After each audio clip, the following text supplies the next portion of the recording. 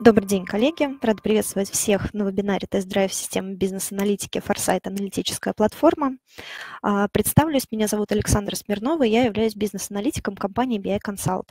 Со стороны Форсайт а, у нас сегодня с нами Юлия Кудрявцева, это директор по стратегическому развитию Форсайт, Константин Шимановский, это директор департамента управления продуктов Форсайт, и Илья Головкин, владелец продукта FlyBI. Коротко расскажу вам о компании BI Consult. Мы на рынке с 2009 года и на протяжении всех 13 лет занимаемся тем, что внедряем в компании системы бизнес-аналитики. Но, в принципе, все мы понимаем, да, что когда говоришь о BI, сразу представляются какие-то красивые дашборды, интерфейсы, отчеты, но это лишь вершина айсберга.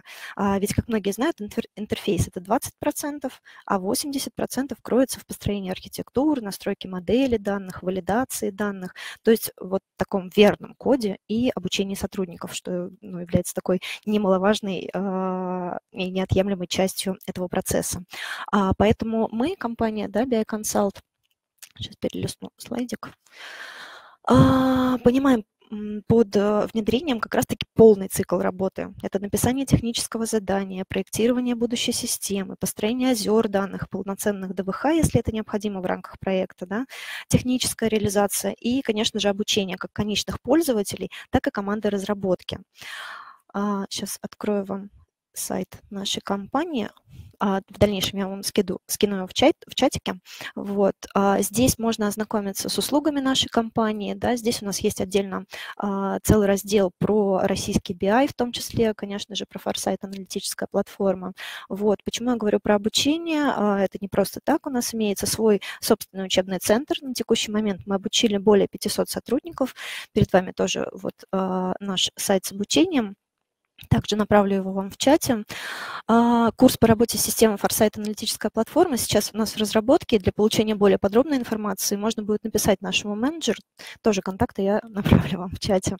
Вот. А, что сегодня мы с вами здесь увидим на вебинаре? Да, у нас тест-драйв системы, как я уже сказала, бизнес-аналитики Foresight аналитическая платформа.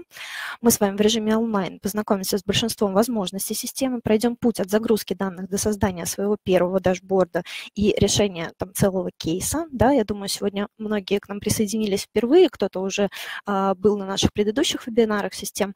Но, в общем, а, про это, про все расскажут коллеги. Вот, а в завершении а, мы вспомним тест-драйв другого продукта Foresight, это FlyBI, и определим а, разницу в подходах и э, сформулируем плюсы и минусы. А, ну, минусы, конечно, какие же будут минусы. А сформируем плюсы того, как можно совместно использовать эти два продукта. Вот. А сразу проговорю орг-моменты, потому что уже когда только-только подключались да, к вебинару, я видела, что ну, всем интересно познакомиться с площадкой вебинар, поэтому нажимаются разные кнопочки. К сожалению, площадка не позволяет отследить, кто нажимает какие кнопки, да, а открывает слайды или запускает рисование. И, к сожалению, я как модератор не смогу заблокировать этого пользователя. Поэтому огромная просьба, да, в первую очередь, использовать систему только в целях задать вопрос, да, а, и просто посмотреть, послушать демонстрацию и презентацию по системе, вот, а, и важный орг тоже момент такой, там на самом верху, да, в уголочке мы видим с вами значок чата, в котором мы с вами сейчас общаемся, а, а рядом очень похожий значок, но со знаком вопрос. Вот большая просьба, все вопросы, возникающие по ходу демонстрации, задавать именно в этом блоке. Он там очень удобно организован в части того, что там можно э, ну, невозможно пропустить да, какой-то вопрос, и можно сразу отследить, на что отвечено. Вот, поэтому на это обращаю внимание. А сейчас передаю слово Юлии для презентации системы Foresight аналитическая платформа. Юлия. Да, спасибо большое, э, Александра. Значит, сначала там два слова о компании Foresight. Это российский вендор. А, в нашем портфеле решений собственные продукты в области бизнес-аналитики и в области корпоративной мобильности. Сегодня мы будем говорить о наших аналитических решениях, а конкретно о нашем флагманском продукте. Это корпоративная цифровая аналитическая платформа Foresight. Это достаточно сложный и комплексный инструмент, который позволяет решить любую задачу класса бизнес-аналитики, абсолютно любую, а, и с точки зрения визуализации отчетности, и с точки зрения построения сложных BI-приложений, э, бизнесовых, такие как планирование, бюджетирование, сводная отчетность и так далее. У нас есть ряд готовых продуктов, которые мы поставляем для решения этих задач на базе платформы.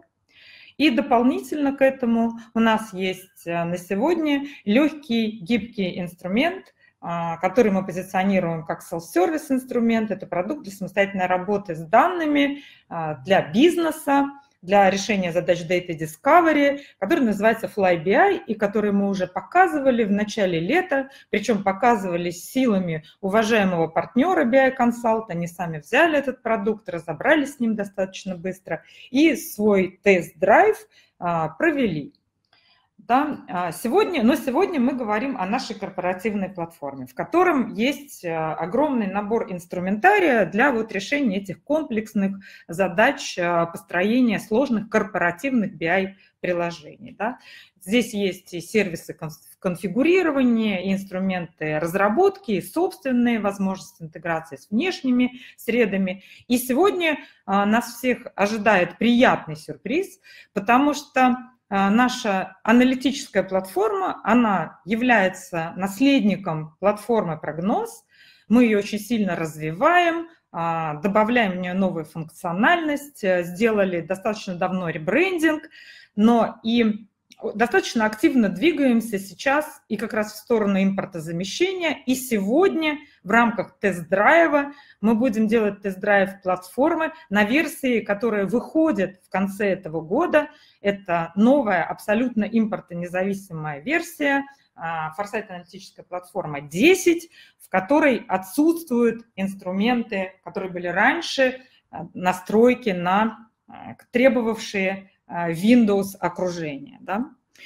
Вот. Так что вы сегодня, ну, фактически не на премьере присутствуете, потому что мы показывали уже на нашем Foresight дне в апреле месяце новую версию, но тем не менее вы смотрите на бренд New продукт, который в соответствии с сегодняшней ситуацией и с теми трендами, которые мы видим на рынке, в общем, полностью соответствует требованиям а, которая сейчас есть а, внутри а, у нас э, в наших компаниях корпоративного сектора, государственного сектора, ну и так далее. Да? Наш семинар сегодня будет построен все-таки из двух частей. Большая часть, процентов 80, будет посвящена корпоративной аналитической платформе. Но в конце, как сказала Александра, мы покажем еще небольшой кусочек и вспомним про продукт FlyBI, который тоже достаточно новый, вышел опять-таки в этом году, и покажем, как наше мощное решение Enterprise уровня взаимодействует с продуктом Self-Service, и как те данные, которые мы собрали в аналитической платформе в рамках вот этого тест-драйва, могут быть доступны бизнес-пользователю для собственных упражнений, без всякого привлечения IT, и какая из этого, собственно, следует э, выгода да, для наших заказчиков. Ну вот это то, что я хотела сказать. Я очень сильно извиняюсь. Мы три раза репетировали, и почему-то всегда презентация показывалась, как обычно, а, эффект да, присутствия. А, но слайды мы передадим еще раз. Да. Я передаю слово а, Константину, собственно, для тест-драйва Foresight аналитической платформы. Костя. Да, Юля, спасибо. Добрый день, уважаемые присутствующие. Подскажите, хорошо ли меня слышно? Да, Костя, хорошо слышно. Да, все отлично. Да, так, хорошо. Тогда я забираю экран. И Александра прошу сказать, видно ли мой экран.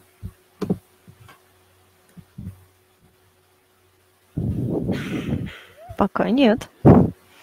А, вот, сейчас все отлично. О, я даже, да, немножко испугалась. Да-да-да, нет, все, все прекрасно. Ну, хорошо. Так, значит, тогда свою презентацию я покажу. Правда, она достаточно короткая, и достаточно быстро я перейду сразу на э, живую демонстрацию. Ну, как действительно сказала Юлия, то есть э, наш основной сейчас э, вектор или тренд да, продуктового развития – это замещение. Э, в настоящее время мы находимся на финишной прямой. Э, в общем-то, вот то, что мы сейчас будем показывать, наверное, немножко об э, окружении того э, программного окружения, которое мы сегодня покажем. Фактически это два, два стенда серверная часть и клиентская часть – это две рабочие станции с установленной операционной системой Astra Linux Special Edition.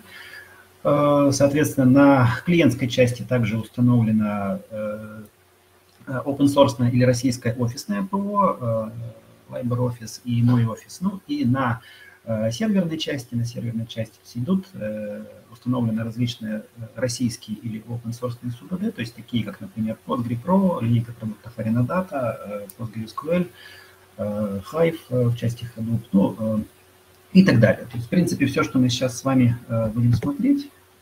Сейчас я попробую Вот он.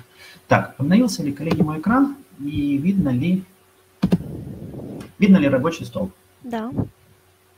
Да, так, ну хорошо, давайте будем продолжать. То есть, в общем-то, сегодня мы посмотрим, как э, в импортно-независимом окружении на новой версии платформы Foresight, 10 версии, э, можно решить э, тот кейс, который в рамках вебинара предоставили коллеги из компании BI Consult, а именно это BI-анализ данных компании Fashion Evolution.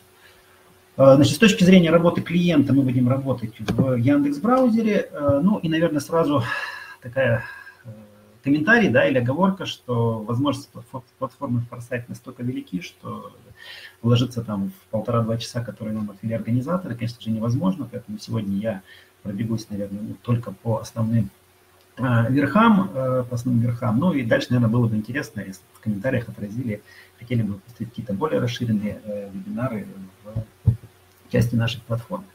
А, ну, давайте начнем, а, как это работает. То есть э, я уже прошел авторизацию и попал в рабочее место специалиста а, работы с платформой Foresight. Мы видим менеджер метаобъектов. Это инструмент очень похожий на проводник, файловый проводник в Windows, да, браузер файлов, но только вместо Э, собственно говоря, файлов. Здесь представлены различные метаобъекты платформы. Э, мы можем их создавать. Слева мы видим э, группирующую структуру папок. С точки зрения организации рабочего места и организации структуры расположения метаданных мы не накладываем каких-то ограничений. В принципе, здесь все так же, как, как, как по работе с файлами. С точки зрения, наверное, самого вебинара и демонстрации, мне бы хотелось сегодня сфокусироваться на двух, двух направлениях. Первое – это рассказать о том, как можно Э, подключаться к данным с помощью нашей платформы, э, рассказать о возможных вариантах. И второе, э, подключившись уже к источникам, рассказать об разных инструментах отчетности. При этом мы не будем затрагивать вопросы, связанные там, с процессным workflow, с BPM, с согласованием данных. Вот. Но такие возможности в платформе тоже присутствуют. С точки зрения организации, структуры организации объектов, вот мы структурировали наш навигатор, мы видим э, две части. Это первое подключение к данным, и второе, э, соответственно, все разделы, связанные с отчетностью. С точки зрения подключения к данным, немножко вернусь на презентацию, э, платформа Foresight, в платформе Foresight реализовано три варианта подключения, хранения и обработки данных. Сейчас мы видим их на экране.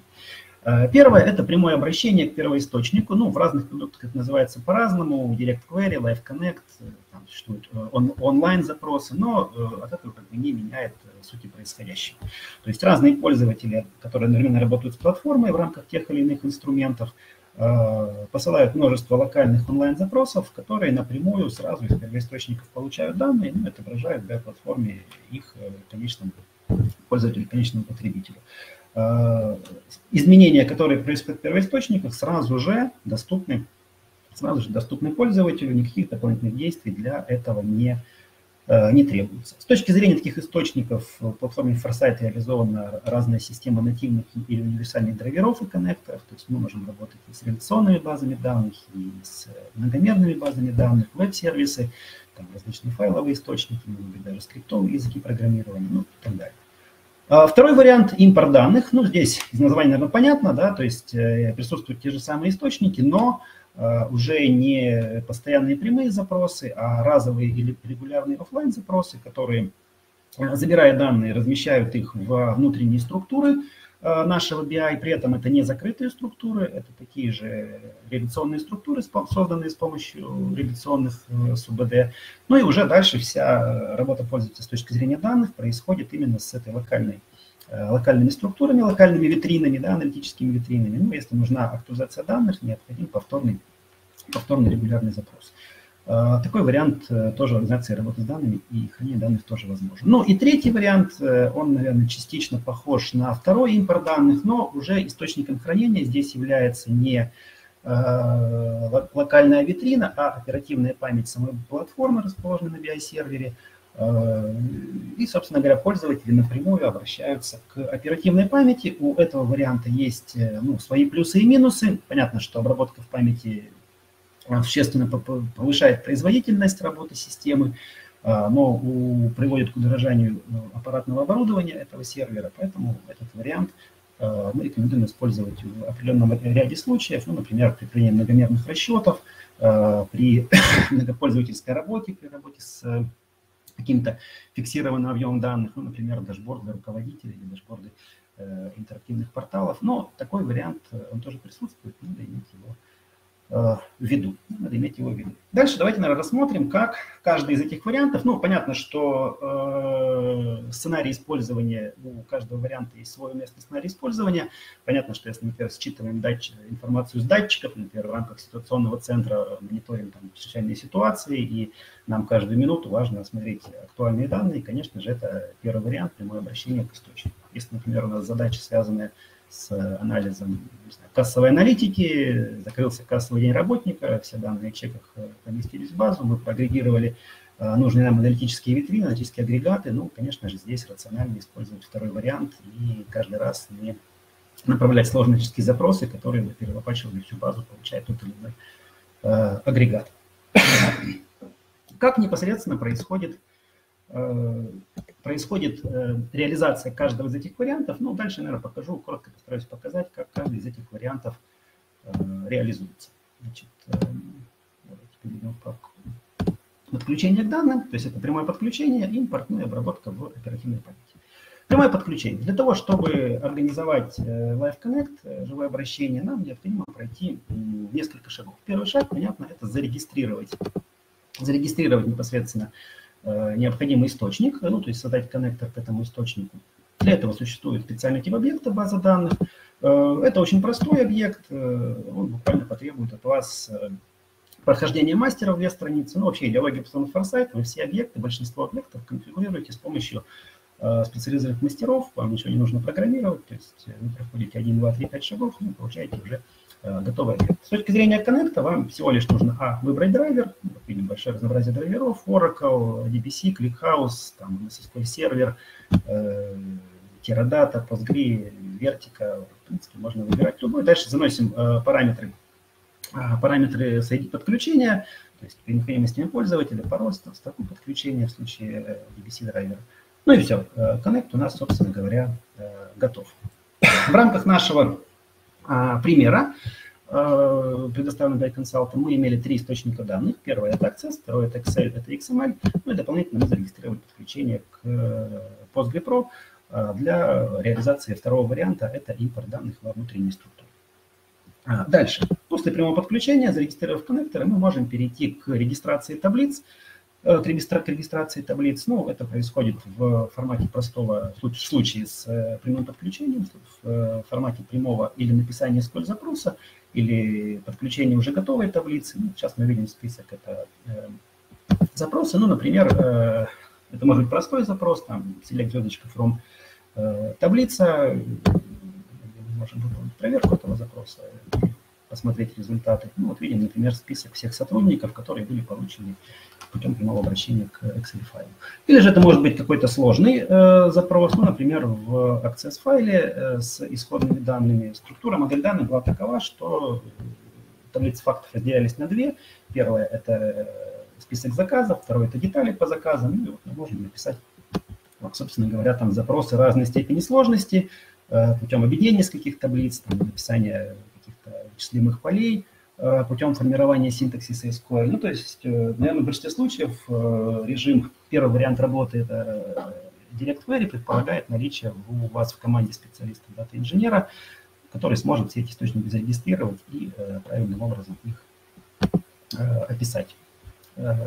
Дальше. После того, как мы зарегистрировали наше подключение, наше подключение, мы переходим к следующим важным шагам, а это именно формирование логической модели логической модели данных. Что это означает? Ну, парадигма платформы, она несколько отличается от селф-сервисной парадигмы. В каком плане все-таки предполагается, что это enterprise, enterprise платформа, и она взаимодействует уже с каким-то большим, готовым сложным хранилищем, есть аналитические витрины, сырой слой, слой данных, и, соответственно, там Э, какие-то э, промежуточные источники, там, предварительные расчеты, сама рассчитывает данные э, и так далее. Да? Поэтому предполагается, что на вход подается определенный массив данных, при этом, наверное, основное преимущество нашей платформы в том, что мы можем работать в гетерогенном режиме работы, взаимодействия с данными. Что это означает? Это означает, что у вас, ну, не знаю, справочник, один справочник сотрудников может быть на Postgre, справочник, допустим, отделов на MS SQL, там данные часть данных расположена в Oracle, а часть данных расположена в Excel, в Excel файле.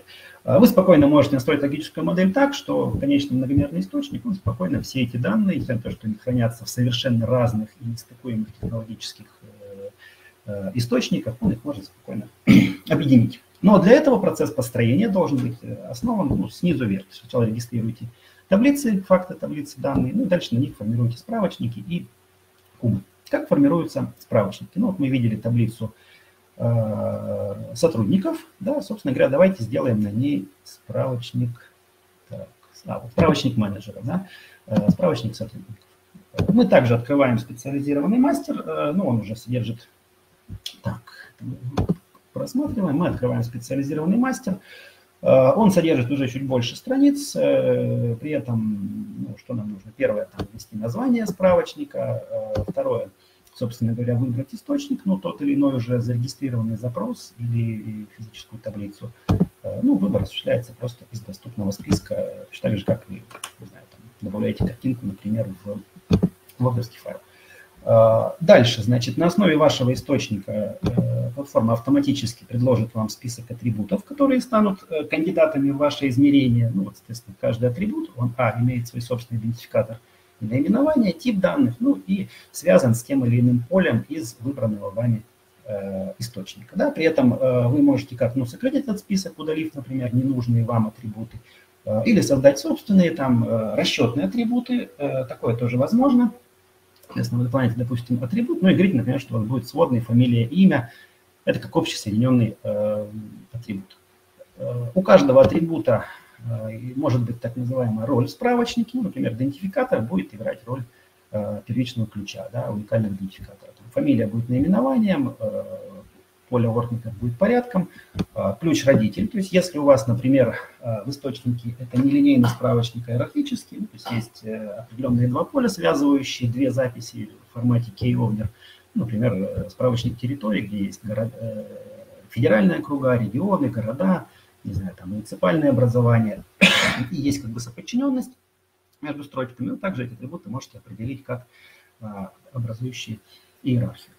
Э, ну все, собственно говоря, пройдя вот такую настройку, вы получаете, а, это может быть линейный справочник, как в случае, например, с э, менеджерами. Ну, вот мы видим список всех менеджеров, э, которые были в рамках предложенного задания размещены, по-моему, в Excel файле. А сейчас идет команда вообще к Excel файлу. Это может быть иерархический справочник, ну, вот как раз, а, вот территории как выглядит иерархический справочник. Ну, мы видим уже здесь несколько уровней, то есть сначала страна, в ней город, ну, в городе, например, можно было бы сделать улицу, дом там и так далее. Э, это как бы первый пример, э, ну, наверное, такое компактное, простое, да, и облегченное формирование справочников. А при этом вот я говорил про гетерогенность и как, например, в рамках одного э, измерения объединить несколько источников. Ну, простой пример.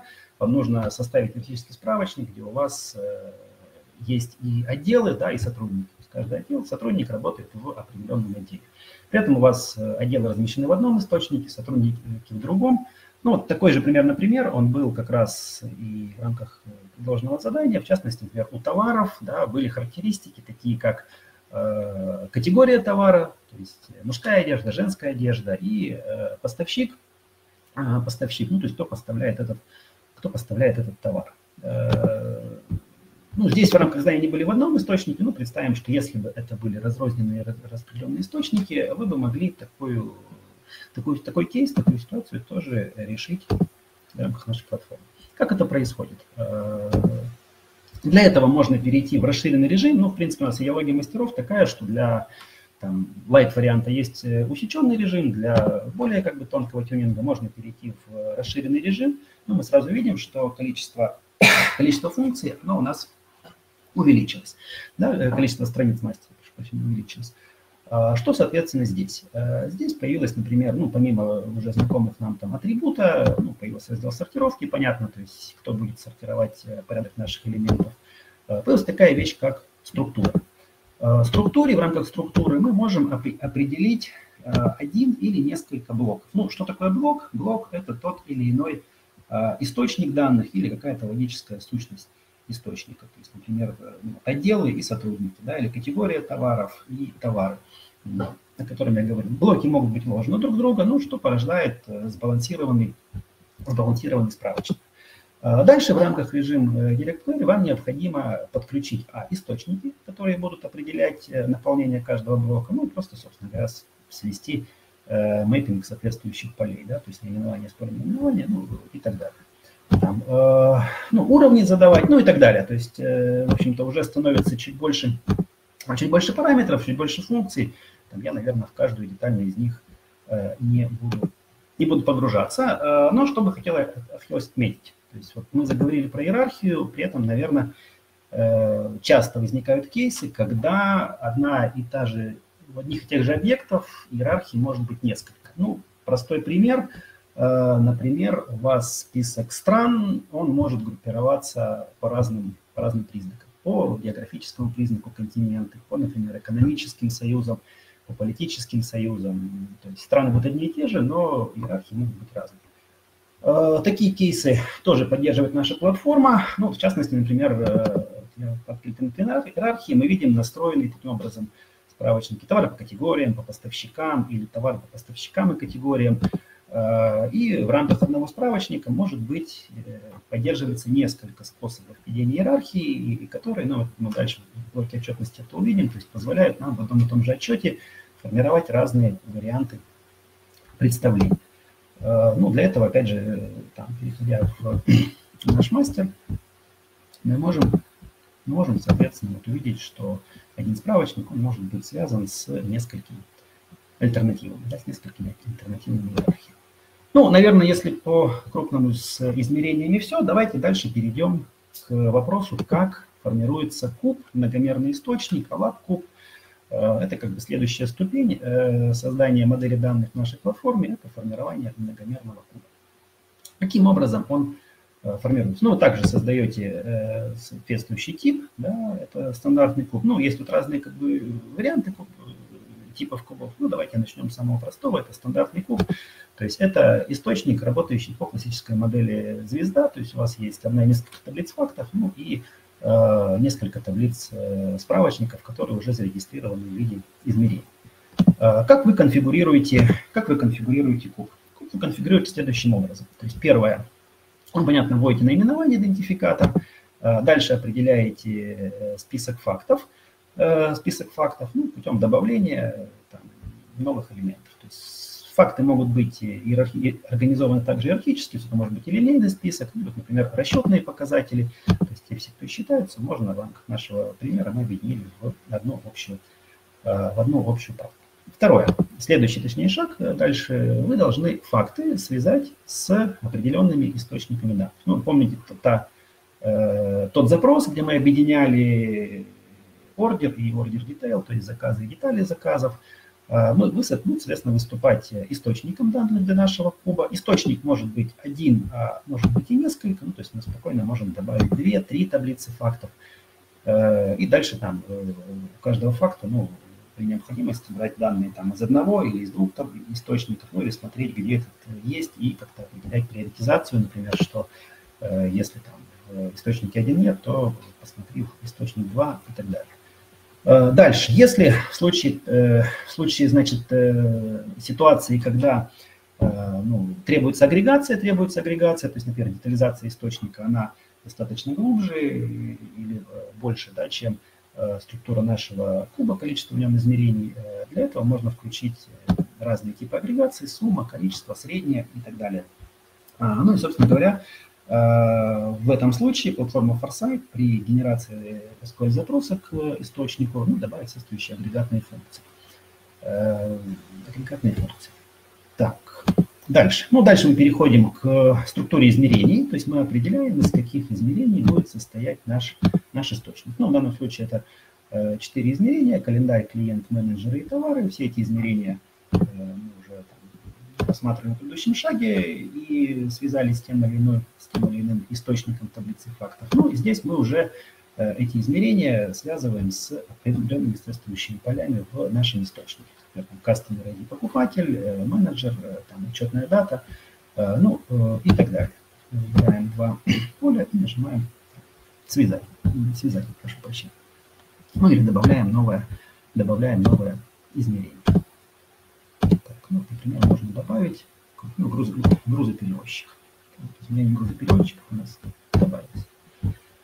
Так, э, следующие, ну, наверное, следующие два раздела, про которые бы я хотел э, в рамках демонстрации куба поговорить, это создание отношений и вычисляемых фактов. То есть, в принципе, наверное, в, практически в любом э, объекте платформы Foresight, важно, будь это таблица, будь это справочник, будь это куб, будь это отчет, будь это лап, запрос, мы дальше все это посмотрим, вы всегда можете выполнять разные вычисления. То есть, по сути, расчетный движок, он является как бы общим, универсальным и доступен в любом, в любом инструменте и в любом объекте. Ну вот, например, в частности, с точки зрения куба, часть фактов у нас может быть напрямую привязана источнику, к источникам данных, да, тут продажи, продажи без скидки, количество товаров и так далее. А часть данных, она может быть расчетной. Ну, например, то, что сейчас помечено э, зеленым кружочком. Для этих фактов есть формулы, и после извлечения э, данных э, эти факты будут рассчитываться, рассчитываться уже внутри э, движка куба э, нашей платформы самостоятельно. Их нет в источнике данных. Ну, для того, чтобы такую формулу задать, э, собственно говоря, ну, существует э, редактор, да, то есть вы можете, э, основываясь на первичных факторах, которые напрямую привязаны к источнику, вы можете задать определенные формулы. Например, там прибыль, да, это разница между, собственно говоря, продажами и, например, себестоимостью. Да. Прибыль к предыдущему периоду а, это вот как раз э, задействована предыдущая закладка отношения. То есть что такое отношение? Это э, правило, по которому вы можете сопоставлять две точки вашего многомерного куба. Ну, например, у вас есть значение за исходный месяц, и вы хотите посчитать показатель в процентах там, к предыдущему периоду. Да, для этого вы задаете отношение, ну, как некую функцию, которая от текущей точки сделает определенный сдвиг э, по тому, ну, по одному или нескольким измерениям. Да? Например, с точки зрения календарной динамики вы указываете, что календарь, э, по календарю будет отношение, которое ну, задаст 12 месяцев назад, да? то есть от текущего месяца. Если, например, было, вам необходимо было посчитать долю там, всех регионов Российской Федерации в долю от общего объема по Российской Федерации, ну, вы бы зафиксировали по территории, например, Россию, Россию, ну, и дальше искали соотношение от текущего региона к отношению к России и так далее. Ну, то есть вы фактически заносите определенные правила, и от этих правил э, можете считать э, формулу, ну, или напрямую, или с использованием этих, использованием этих правил. Э, ну, собственно говоря, все. То есть мы определили факты, мы определили измерения, определили способы вычисления э, недостающих фактов. Э, ну, и в итоге мы получаем уже многомерный источник, э, многомерный источник, ну, на котором можно с помощью средств отчетности, соответственно, строить, строить ту или иную визуализацию, ту или иную э, представление данных. Ну, об этом мы поговорим во второй части моего рассказа. Вот, теперь, чтобы ну, понять, как работает э, Direct Query, да, Live Connect, не знаю, небольшой пример. Э, давайте возьмем и сейчас прямо на ходу поправим данные в нашем источнике. Так, например, ну, например, эти же э, сотрудники, да, сотрудники, они э, в соответствии с э, предложенным заданием от коллег из Consult, они расположены в Excel-файле. Ну, открываем Excel-файл, естественно, никакого Microsoft Office уже здесь нет. Мы находимся, повторюсь, в, в операционной среде Astra Linux. Astra Linux, да, поэтому открываем Excel файл в LibreOffice.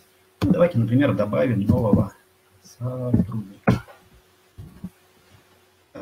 Иванов. Ой. Иванов. Иван. Иван, он у нас, соответственно, администратор.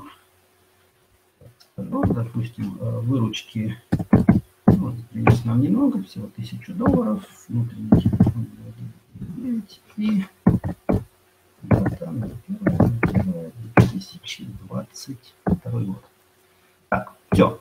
Э, сохраняем изменения, первоисточники. Сохраняем изменения. Все, закрываем. Э, соответственно, переходим обратно в нашу платформу. Так.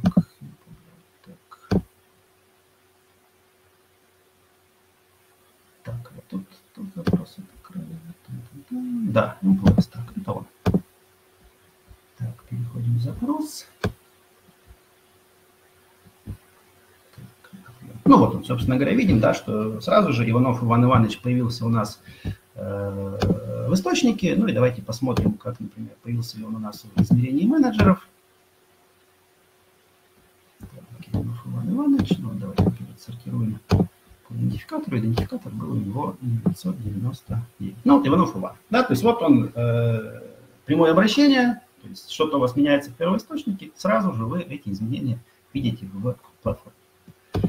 Вот. Это что касается первого варианта, э, прямое обращение. Второй вариант – это импорт данных. Ну, как я уже говорил э, в введении, да, то есть здесь у нас, собственно говоря, э, идет, происходит импорт внутренней структуры, при этом этот импорт, этот импорт, он э, может выполняться э, двумя, в двух режимах, да, в двух режимах. Первый – это такой light режим с помощью мастера импорта, и второй – Э, это полноценная сдача ETL, где вы можете создать э, несколько наборов источников, правила трансформации, сложные цепочки, там, загрузку, опять же, там, в один или несколько приемников. Но давайте, наверное, по порядку. То есть первое – мастер импорта. Что это такое и чем его едят? Ну, представим себе, что у вас уже есть э, готовая какая-то широкая витрина, которая представлена в одном источнике, и вам бы хотелось по-быстрому загрузить ее в нашу платформу, вот не проходя все эти шаги, которые я рассказывал вам в первом варианте, да, это прямом подключении, э, там, рисовать измерения, кубы, таблицы и так далее, то есть а постараться там указать в этой витрине, что есть измерения, что есть факты, что есть факты, ну и, собственно говоря, все, получить уже э, готовый, готовый результат. Так, готовый результат. Э, как это сделать? Как раз работает этот light режим э, импорта данных. Вы вызываете э, специализированный мастер, он у нас называется мастер импорта данных. Ну, он может работать как с файлами, так и, например, с SQL-запросами, веб-сервисами через REST-источник, ну и так далее. здесь можно выбрать разные типы источников, но смысл остается один и тот же. Ну, давайте, например, попробуем сделать это через файл данных. Через файл данных. Как, соответственно, это работает? Ну, вас запрашивают файл данных э, заранее. Я подготовил. Заранее мы подготовили такую э, широкую витрину. Ну, в принципе, в самом простом варианте вы просто можете перенести ее там, мышкой с вашего с вашего рабочего стола. Вот у нас появилось, э, ну, по сути, все те же атрибуты, которые были представлены в акцессе там, DBF, в акцессе Excel и XML. Ну, мы для демонстрации немножко упростили структуру атрибутивных полей. Все, мы видим, э, что было в файле, ну и, собственно говоря, дальше переходим уже непосредственно к разбору этого файла и определению э, необходимой нашей структуры. Э, что мы можем сделать дальше? Дальше мы можем, а, ну, первое, там, переименовать поля, если нам это необходимо. Если какие-то поля являются лишними, ну, например, order ID – это номер заказа, допустим, мы хотим построить аналитическую информацию о Э, заказчиках, товаре и менеджере. Да? То есть номер заказа здесь нам не интересен, мы можем его просто исключить, и это, это поле не будет загружаться, не будет импортироваться в нашу платформу. Э, дальше, если мы видим какое-то поле, например, хотим как-то его модифицировать, э, ну вот, например, в частности, мы видим Customer Location, мы сознательно специально объединили здесь город и страну да, через запятую.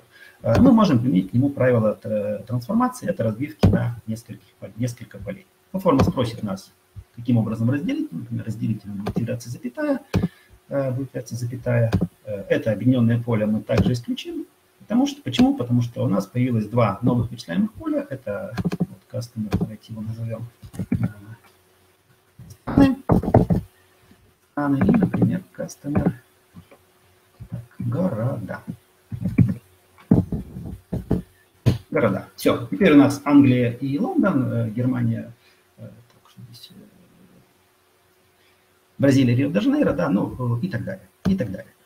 Помимо разъединения, также можно, например, делать более сложные операции. Ну, вот, например, у нас есть телефон и факс, да, это поле факс, телефон и факс. Давайте, например, не будем перегружать наш справочник, а объединим их в один атрибут. А, для этого мы эти поля также исключим по отдельности из нашей загрузки, а создадим новое вычисляемое поле.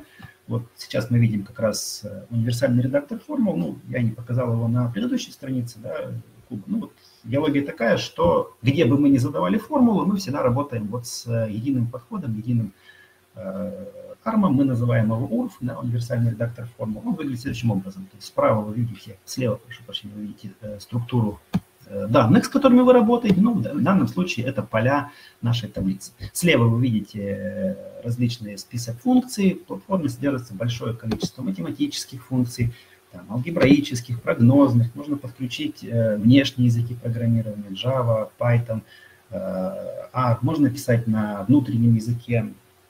Ну, то есть можно использовать как встроенные функции или создавать какие-то собственные с применением разных языков программирования. Они также будут, могут быть у вас Э, использоваться в вашей форме. Ну, давайте сделаем, например, э, простую, простую формулу конкатенации. Объединим э, телефон и... Так, телефон. Более, более телефон. Так. Плюс... Точка запятой. Факс. Факс. Все. То есть мы, по сути, два поля ну, сделали объединение строк. Можно делать арифметические операции, например, там Э, из э, выручки помножить э, с процент скидки, ну, получить, собственно говоря, стоимостной показатель нашей, нашей скидки. Так, все. Что у нас получилось? Вот у нас получилось новое поле, совмещенный телефон плюс факс. Телефон плюс факс. Ну, дальше, наверное, также можно там изучать нашу витрину, каким-то образом там создавать новые поля, исключать существующие, существующие исходные. Ну, давайте пойдем далее.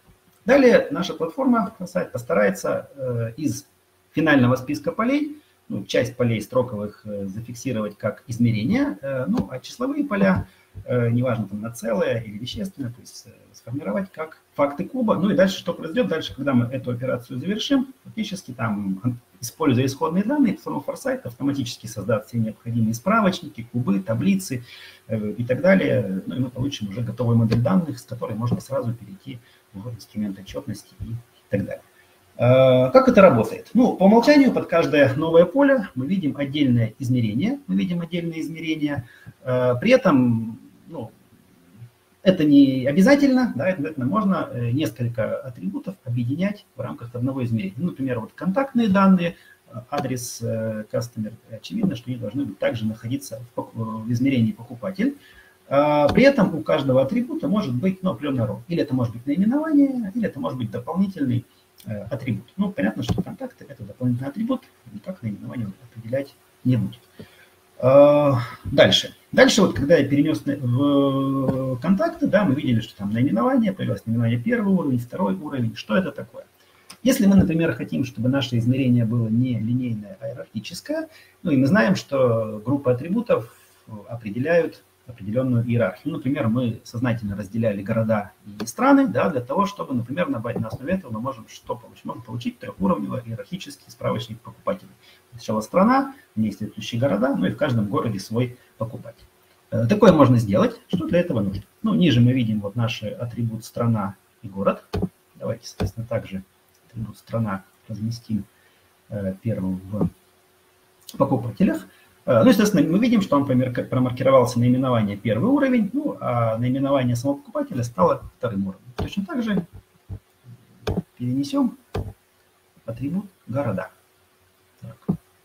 Города. Ну, видим, у нас теперь трехуровневый сбалансированный, сбалансированный справочник. Уровень 1 э, страны, города и наименование покупателя. Э, вот. Ну и атрибут контакт. Добавим туда же. Э, так, а, прошу прощения, контакты, это был не адрес, это был, по-моему, телефон. Так, э, так, телефон, ну, неважно. Так, адрес. Адрес это тоже добавляем, адрес добавляем к покупателю. Делаем его тоже атрибутом. Так, дальше видим сотрудники. У сотрудника также есть наименование и есть должность в нашей витрине. Э, так, ну есть отчетная дата э, соответственно, сделки, грузоперевозчик, по нему всего один атрибут наименования. То же самое товар, товар э, так, по товару есть как раз вот категория и так, так, категория и грузополучатель, грузополучатель. Ну, пусть будет вот так. Так, грузополучатель. Так, и последнее, что у нас осталось, это, так, телефон. Телефон был тоже относился, по-моему, к покупателю, поэтому давайте перенесем его вот сюда. Так, так, получилось. Так, ну, собственно говоря, все. Вот мы получили э, 4 измерения. Товары, грузоперевоз, грузоперевозчик, э, сотрудники, э, отчетная дата совершения сделки и покупатель. Ну, и имеем э, набор фактов, таких как э, стоимость перевозки, там, количество, дисконт э, и так далее. Но опять же, здесь же можно включить э, метод агрегации, если это необходимо, если это необходимо, э, ну или загружать так, так как есть. Так, давайте включим правила агрегации. Так, все, далее. Далее. Ну, далее что? Далее, собственно говоря, платформа спрашивает нас, куда нам разместить э, все необходимые метаобъекты, э, кубы измерения, таблицы и так далее. Ну, спрашивает, какое будет у них название. Ну, давайте назовем их импортированные данные.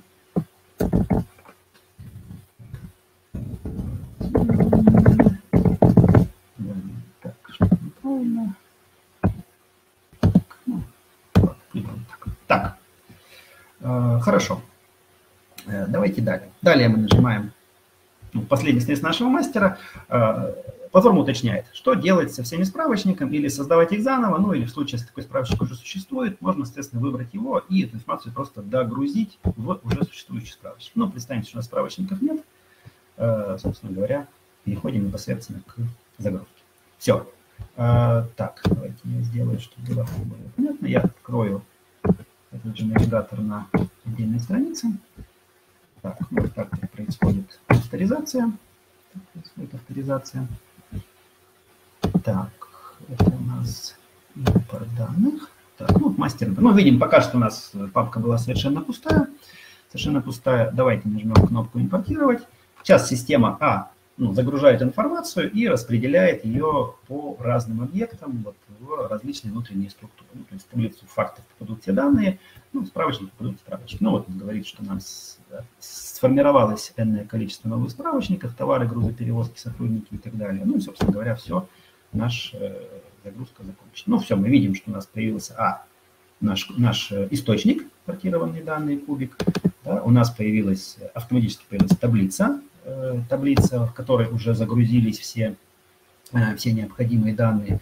Э, у нас появился справочник, э, ну, например, справочник покупателей, который должен был быть Э, как раз э, иерархический, да, вот у нас иерархический.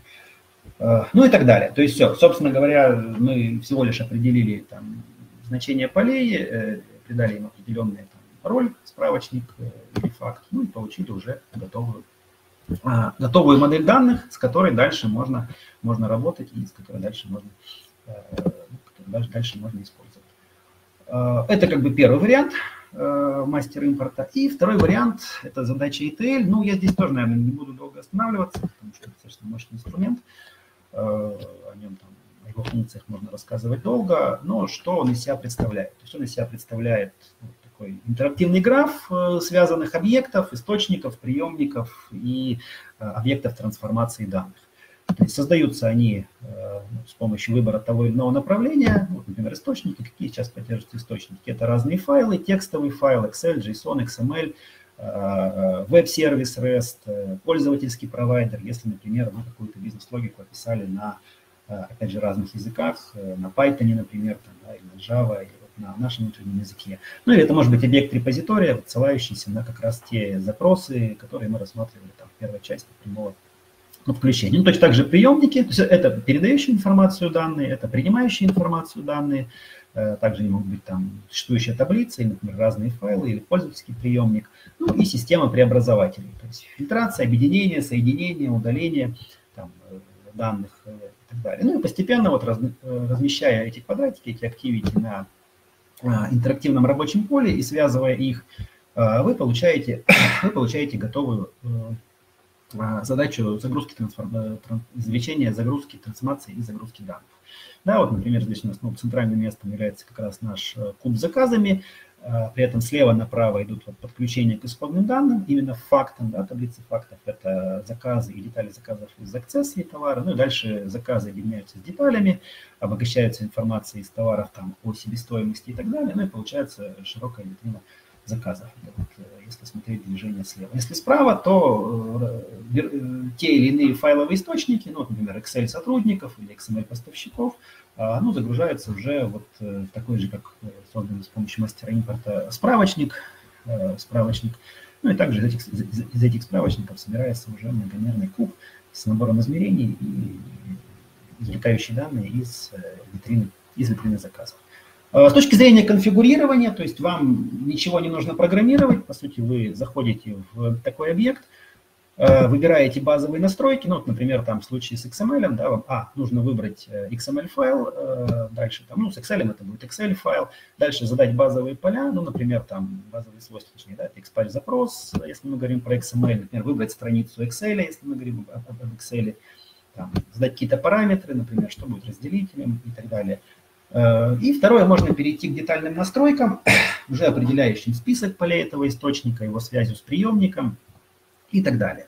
Да, то есть вот мы видим, например, э, список полей, можем посмотреть, как он связан с э, приемником, да, справочником поставщиком, поставщиков. Э, можем, ну, сейчас связаны базовые атрибуты, name, ключ и контактное наименование. Ну, например, можем связать адрес, город и так далее. Да, и так далее. Ну, вот таким образом формируется цепочка загрузки. Э, если, например, посмотреть про какой-нибудь, так, ну, здесь платформа предупреждает, что часть полей не привязана и спрашивает, готовы ли мы продолжить. Да, э, продолжаем. Продолжаем. Если, например, посмотреть про э, цепочку трансформации, то выглядит она примерно так же, ну, уже мастер, но более сложный, там есть более, большее количество страниц. Вот настройки. Сейчас, секундочку. Так, настройки, ну, так как это э, тип э, трансформации соединения, то есть уже редактор входа содержит два источника с разным набором полей. Э, ну, есть один выход, э, соответственно, выход, куда будут информация о записях с ошибками, например, определяется первичный индекс каждого из источников. Первого – это order ID, и второго – product ID, например. Определяется тип связи, ну, то, что мы писали случае с прямым подключением, там, join двух таблиц, то есть тут можно про join Э, просто связывая, связываемое количество полей, ну и указывая, там, какой будет тип соединения, left join, inner join. Ну и так далее, да, и так далее, то есть вы, по сути, там, никакого здесь вот дата инженера вам не нужно, вы просто привлекаете обычного командного аналитика, который вот конструирует вам такие конструирует вам такие цепочки загрузки. Э, цепочка, ну, такая задача информации может выполняться как разово, например, кнопкой «Выполнить», или для нее можно создавать планировщик задач, э, который Э, который, собственно говоря, э, позволит на регулярной основе выполнять э, эту задачу. Ну, так выглядит планировщик, то есть вы формируете здесь n количество заданий, n количество заданий, ну, вот задача, допустим, у нас уже здесь добавлена. Вы можете ее там конфигурировать, настраивать, то есть первое указывать расписание, как оно будет выполняться ежедневно, еженедельно, там, ежемесячно, при необходимости задать условия, ну, например, там, по правилу, если в каком-то источнике появились там данные, тот или иной список там, валидаций, ну, появились данные, то, например, эту задачу там, загрузки выполнять, да, или сдать, например, какое-нибудь правило на том или ином языке программирования, например, на питоне там, или на нашем языке форе. Э, так, э, так, что параметры, ну, то есть выбор непосредственно самого объекта, да, в принципе, все автоматизированные объекты, такие как задачи ETL, там, расчет какого-то алгоритма, они могут быть добавлены в планировщик задач. А, результат после загрузки, там, платформа ну, оповестит, вот здесь указан почтовый ящик, э, почтовый ящик, он может быть фиксированный или динамический, там, можно управлять текстом сообщения, там, ну, и э, и другие параметры. Да? То есть вы можете конфигурировать такой планировщик задач, э, ну и дальше, собственно, так, планировщик задач. Ну и дальше, собственно говоря, э, можете там на регулярной основе каждую ночь, каждые выходные выполнять такие, выполнять такие загрузки. Так, ну и видим статистику, что вот э, сегодня утром задача была успешно выполнена. Там, 5 часов, да, 5 часов утра. Так. Э, третий вариант. Мне бы, наверное, не хотелось на нем останавливаться. Так, сколько у нас? Сейчас прошел. Да, третий вариант – это обработка оперативной памяти. Ну, пример, который был представлен э, нам для рассмотрения, там объем данных не такой большой, там вычисляется, ну, не доходит до 100 тысяч записей, поэтому здесь оперативной памяти, использование оперативной памяти мы не видим смысла. А, но если там коротко, то есть как он активируется, собственно говоря, вы у нужного вам источника данных там, активируете, активируете правила кэширования, ну и дальше там при необходимости можете обновлять да, или прогревать этот кэш Э, в память, то есть тут, в принципе, тоже ничего, ничего сложного нет, подход точно такой же. То есть вы сначала собираете многомерный источник, определяете его факты, измерения, там, источники, ну, потом просто он э, в момент э, активации помещается в оперативную память, и дальше вы работаете с этим источником, уже обращаясь к, с оперативной памятью. Последний пункт, наверное, который бы хотелось тут Э, поговорить в части подключения данных. Это ролевая модель, часто об этом спрашивают, как вообще разграничить права, там, до какого уровня можно разграничить права. Э, с этой точки зрения в платформе Foresight A есть э, собственный менеджер безопасности, который позволяет, ну, по сути, там полный спектр функций, да, полный спектр задач, связанных с безопасностью. То есть первое, это, конечно же, протокол доступа, то есть все операции журналируются, есть, соответственно, Э, ну, правила аудита, то есть э, изменения, чтение, что вести в разрезе каждого объекта, ну и все эти операции фиксируются в журнале. Это как бы первое. Второе, то есть можно, соответственно, создавать э, список пользователей, вести список групп, выделять их привилегиями, есть редактор-политик, и с точки зрения непосредственно самой ролевой модели, то есть распределения доступа, а, здесь есть, ну, наверное, по-крупному три, три уровня. Да? То есть первое – это для каждого вот метаобъекта, неважно, там, это источник, куб, отчет, там, справочник, а, ну, можно раздавать права доступа к этому объекту. Давайте, например, выберем наш э, источник, так, вот, который мы симпортировали. Так, где Ну, а вот у нас, да? Ну и, собственно говоря, вот мы видим, э, пока там можно добавить новую метку. Так,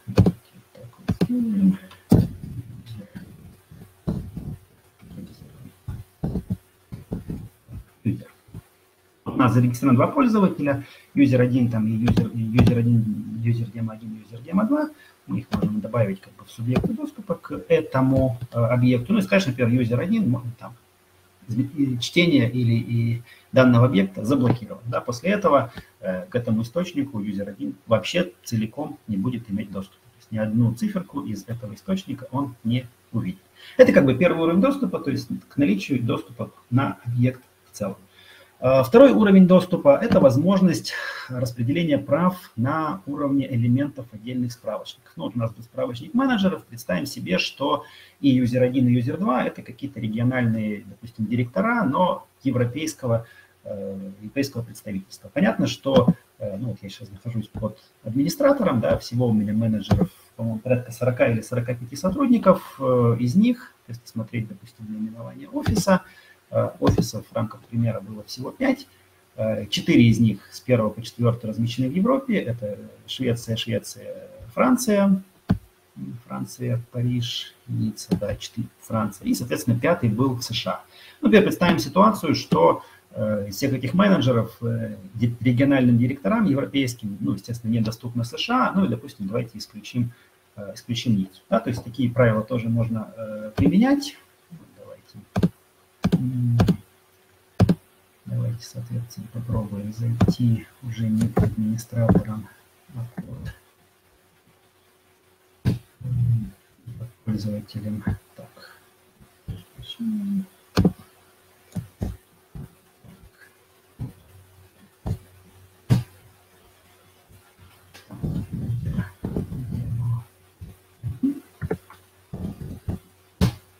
То есть я сейчас захожу э, под другим пользователем, у которого с точки зрения прав доступа к элементам справочников доступны будут только все европейские менеджеры за исключением, за исключением города, города Ницца. Так, ну открываем наш справочник, видим, что он уже стал гораздо короче, да, и если мы отсортируем э, наши офисы, то видим, что есть первый офис, второй офис, третий офис, Ну и, собственно говоря, все. Да? То есть ни четвертого офиса, ни пятого мы уже не видим. Ну и дальше в отчетности также нам будут доступны только этим, этим, этому пользователю, юзер демо 1, будут доступны только эти, э, только эти менеджеры. Ну и так можно разграничить права доступа до, до элементов каждого справочника. И третий уровень доступа – это доступ уже к сегментам данных, то есть платформа Foresight позволяет разграничить доступ э, к источнику вплоть до отдельной точки данных. Э, что это означает? Это означает, что э, заходя в источник данных, заходя в источник данных, ну, например, под пользователем UserDemo 1, да, мы видим, то есть у него вот сейчас активирован режим там, доступа или недоступа, мы видим, что в ряде ячеек ну, промаркировано такими замочками. Что это означает? Мы до демонстрации там реализовали, ну, реализовали правила доступа следующим образом. Значит, если страна клиента и страна менеджера совпадает, то, соответственно, право на редактирование а, пользователь юзер демо 1 не имеет. Ну, то есть видим, например, что менеджер Коллинз Джон, который располагается во Франции, да, работал с заказчиком семейный шопинг из Франции. Ну, естественно, юзер 1, для него доступ запрещен, ну, представим себе, что это, допустим, user э, 2 – это региональный директор за локальные сделки, да, локальные продажи, а user 1 – это за, э, допустим, зарубежные импортные сделки с точки зрения страны расположения. Поэтому user Demo 1 имеет доступ, ну, например, к э, клиенту вещи для вас, здесь мы замочка не видим, ну, и, и данные мы можем и изменять. Да. При этом данное правило было произведено на операцию Э, записи, да, но можно было также сделать на операцию чтения, тогда бы, например, там, все, что замочки, цифр не было бы видно совсем. Сейчас правило реализовано для операции записи. Ну, соответственно, мы один пользователь может редактировать, что-то не может, ну, а пользователь user demo 2 операция обратная, да, он не сможет редактировать э, вот эти данные, но сможет редактировать данные там, по клиентам, с которыми работают в рамках его страны.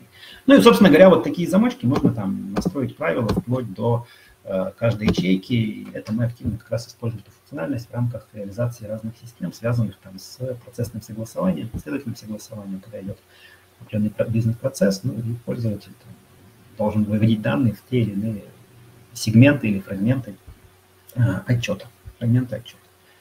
Так, это вот ролевая модель.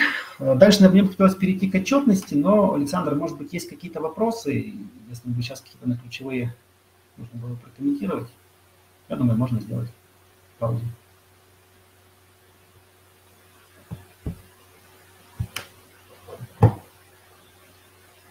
Костя, может, мы дальше, Алло, дальше пойдем, у нас времени много прошло уже. Да, да, да, на самом деле мы можем пойти дальше, да, прошу прощения, микрофон не включила сначала.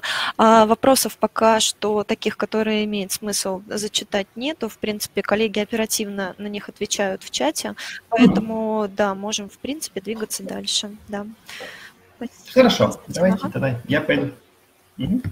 Так, давайте я тогда пойду дальше и вернусь э, опять на слайд э, и перейду уже к разделу отчетность. Ну, в отчетности, наверное, хотелось бы э, о чем о чем рассказать. Да? Рассказать о том, что с точки зрения платформы Foresight существует у нас три, ну, наверное, три направления да, или три вида инструментов отчетности. Они сейчас представлены на экране.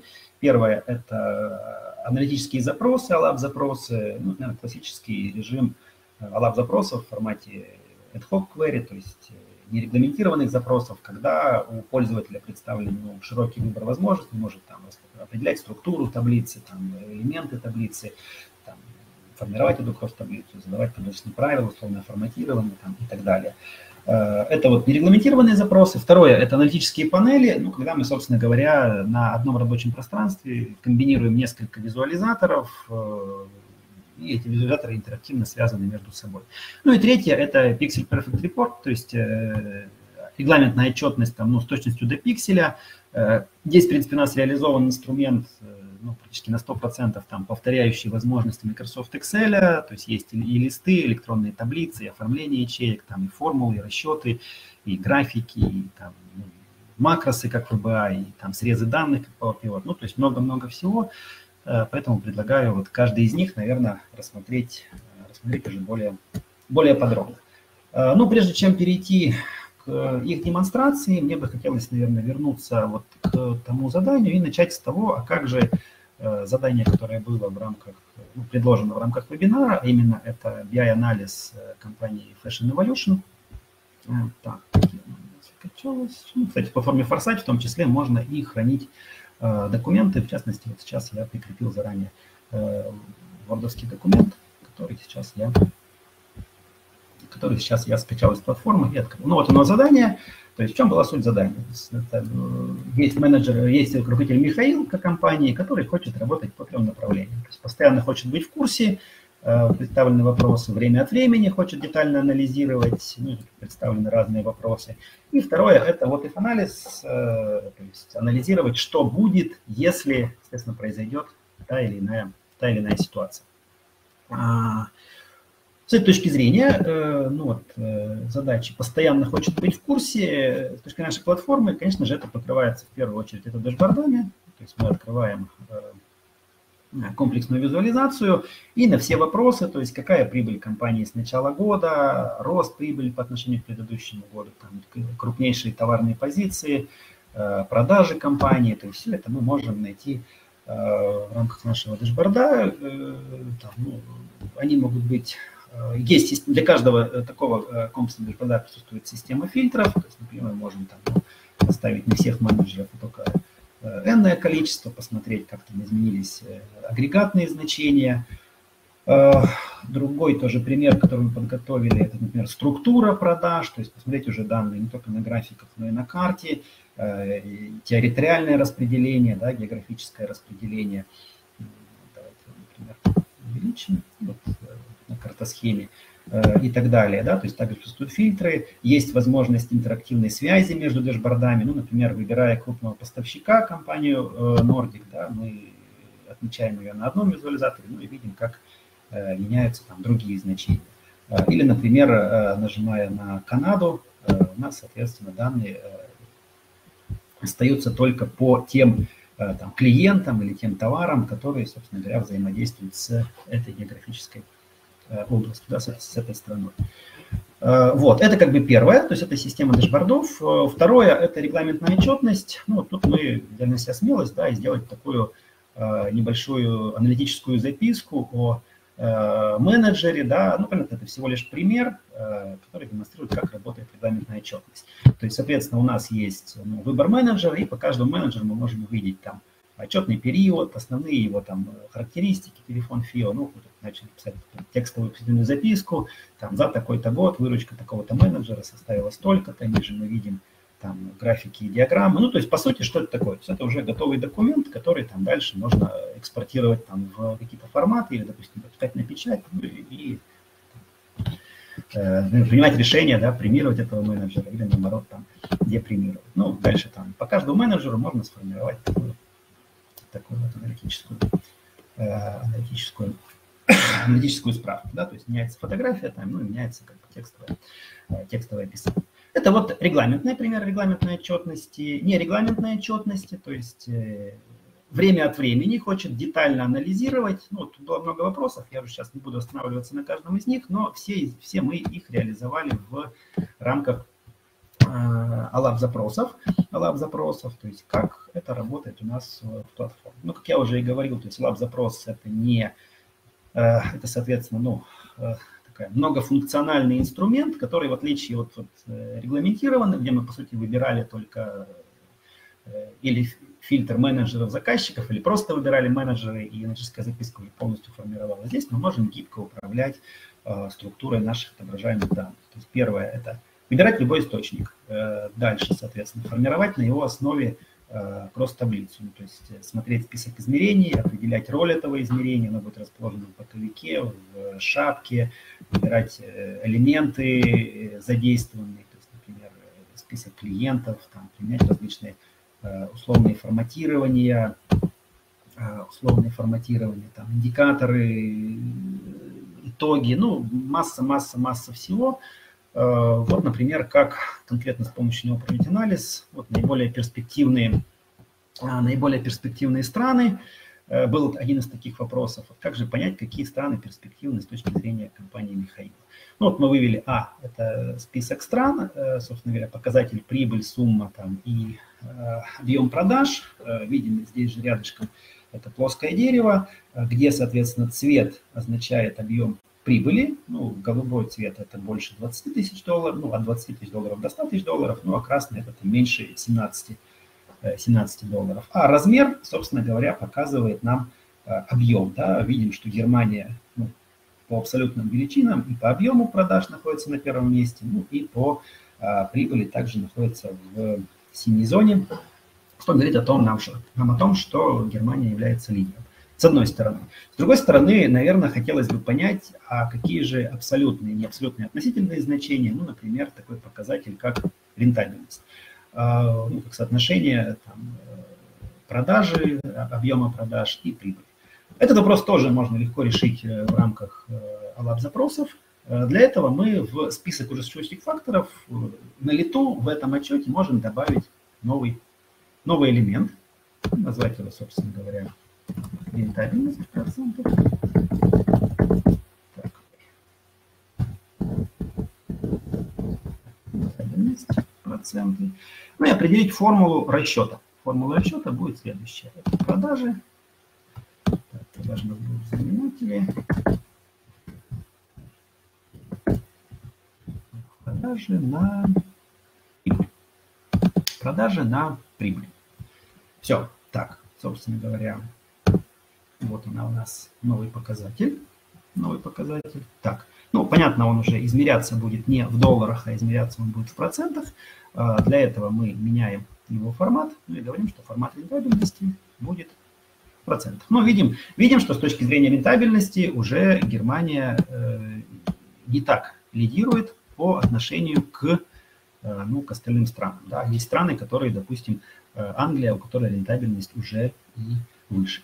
И если вернуться к нашему графику, к нашему графику, а именно плоскому дереву, плоскому дереву, дереву, ну, давайте, например, э, размер, размер, да, размер, так, давайте наш размер э, изменим и определим, что за размер уже будет отвечать не объем продаж в абсолютных величинах, а уровень рентабельности в процентах. Ну, видим, да, что размер э, каждого квадрата ну, в принципе, Англия уже, ну, Германия, прошу а вот Германия, ну, далеко уже, далеко уже не лидер, да, поэтому является ли она перспективной, ну, с точки зрения объема, да, с точки зрения, там, допустим, э, доли рентабельности, все страны примерно, примерно одинаковые. Э, вот, это что касается проведения анализа. Так, и э, последнее, это вот if анализ, бонусная задача, цель которой была понять, э, провести некий такой анализ чувствительности с помощью BI-решения, как же изменить наши продажи, если, ну, например, там увеличится себестоимость, изменится цена, сократится объем и так далее. Вот эту задачу мы также реш... предлагаем решать в наших регламентных отчетах. Ну, вот сейчас он на экране. Так, давайте масштаб поменьше сделаем. Так, регламентных отчетах. Ну, вот, собственно говоря, мы видим э, эти три сценарных параметра. Объем продаж, себестоимость единицы товара. И ниже видим фактическая прибыль. Э, это вот штрих-пунктирная линия. И прогнозная прибыль – это такая голубая, голубая линия. Ну, дальше что мы делаем? Дальше мы, собственно говоря, начинаем двигать наш, э, наш ползунок. Э, наш ползунок. Ну и происходит на лету происходит перерасчет на лету происходит перерасчет. Не знаю, через удаленный рабочий стол отображает ли вебинар отражает ли анимацию, но у меня сейчас там медленно два ползунка потихоньку расползлись в разные стороны. То же самое, например, увеличиваем цену продаж. Ну, соответственно, что произойдет? Наша прогнозная прибыль должна еще больше вырасти. То была 215, стало, э, стало там 400, ну и так далее. Если при этом, например, цена увеличилась, объем продаж сократился, ну, значит, сейчас наша голубая линия поползет вниз. Поползет вниз, ну вот она приближается к фактической. Вот, ну э, и так далее. Да? Понятно, что это агрегированный результат, там за ним на самом деле стоит большой объем э, вычислений, да, большой объем вычислений, э, как, собственно говоря, реализуется вот эта вот система вычислений, если это не просто рентабельность, там, прибыль поделить на выручку. А, для этого в рамках платформы Foresight реализован специализированный инструмент, он называется алгоритм расчета, и он позволяет реализовывать методики разной степени сложности. Ну, под методиками, что мы понимаем, а, методика – это какая-то комплексная система вычислений, правил, уравнений и так далее.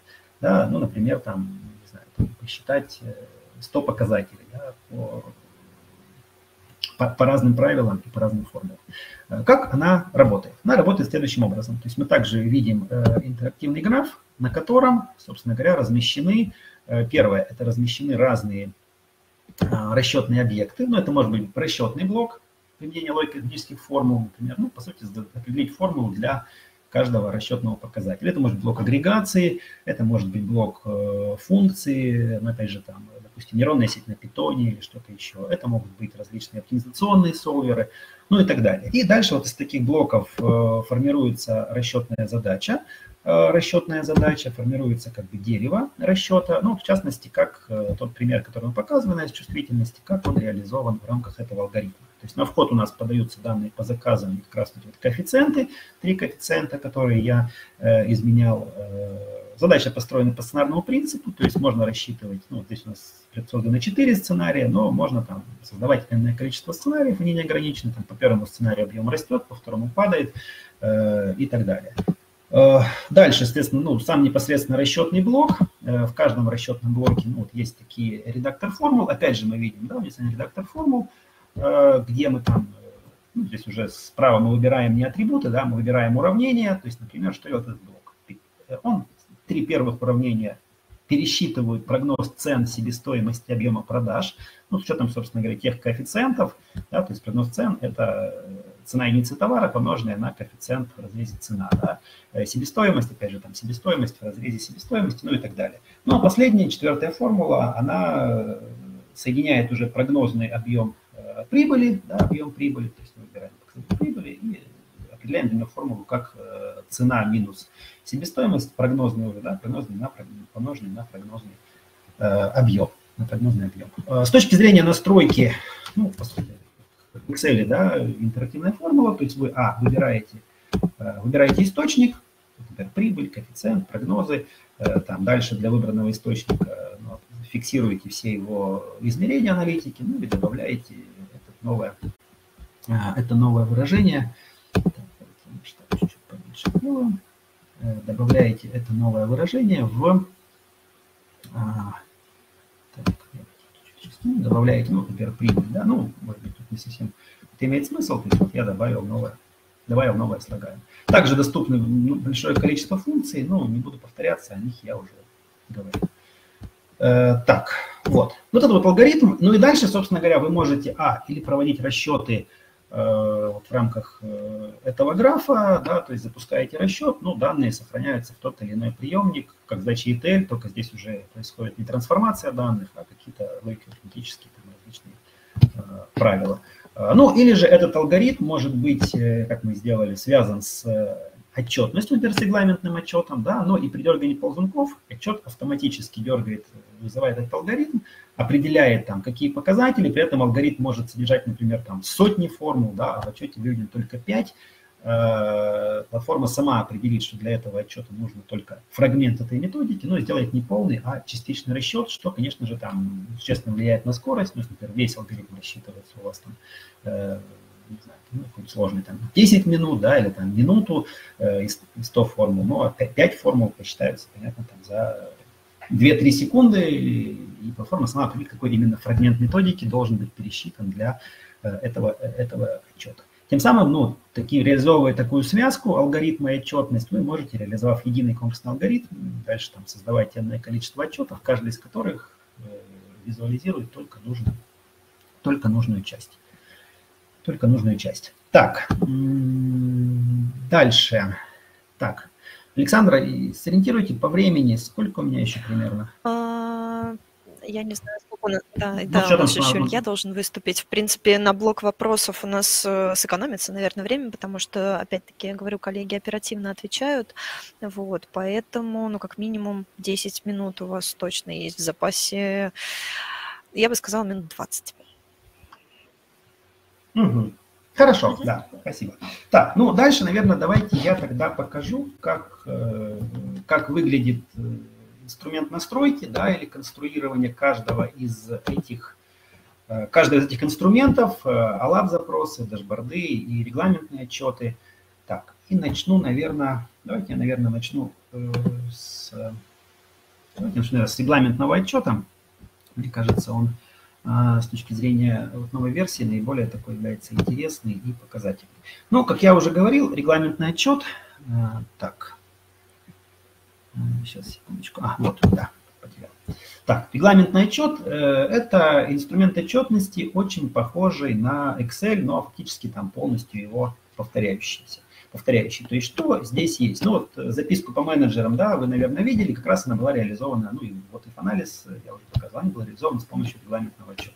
Что это такое? Ну, вы попадаете в инструмент, очень похожий на Excel, э, что здесь есть? Здесь первое есть, ну, соответственно, листы, то есть вы можете создавать э, неограниченное количество листов, э, это первое. На каждом из листов представлен в виде электронной таблицы. Ну, в электронную таблицу А вы можете там вводить, вводить, соответственно, данные, один, два, три и так далее. Да, вы можете вводить данные. Э, эти данные вы можете оформлять. Ну, доступны, по сути, все то же самое, что есть, э, что есть в Excel. То есть мы вызываем оформление, ну и видим а, шрифт, цвет, размер, заливка. Давайте установим э, какую-нибудь заливку, например, красную. Да, установим красную заливку. Шрифт, например, сделаем белым, зеленым,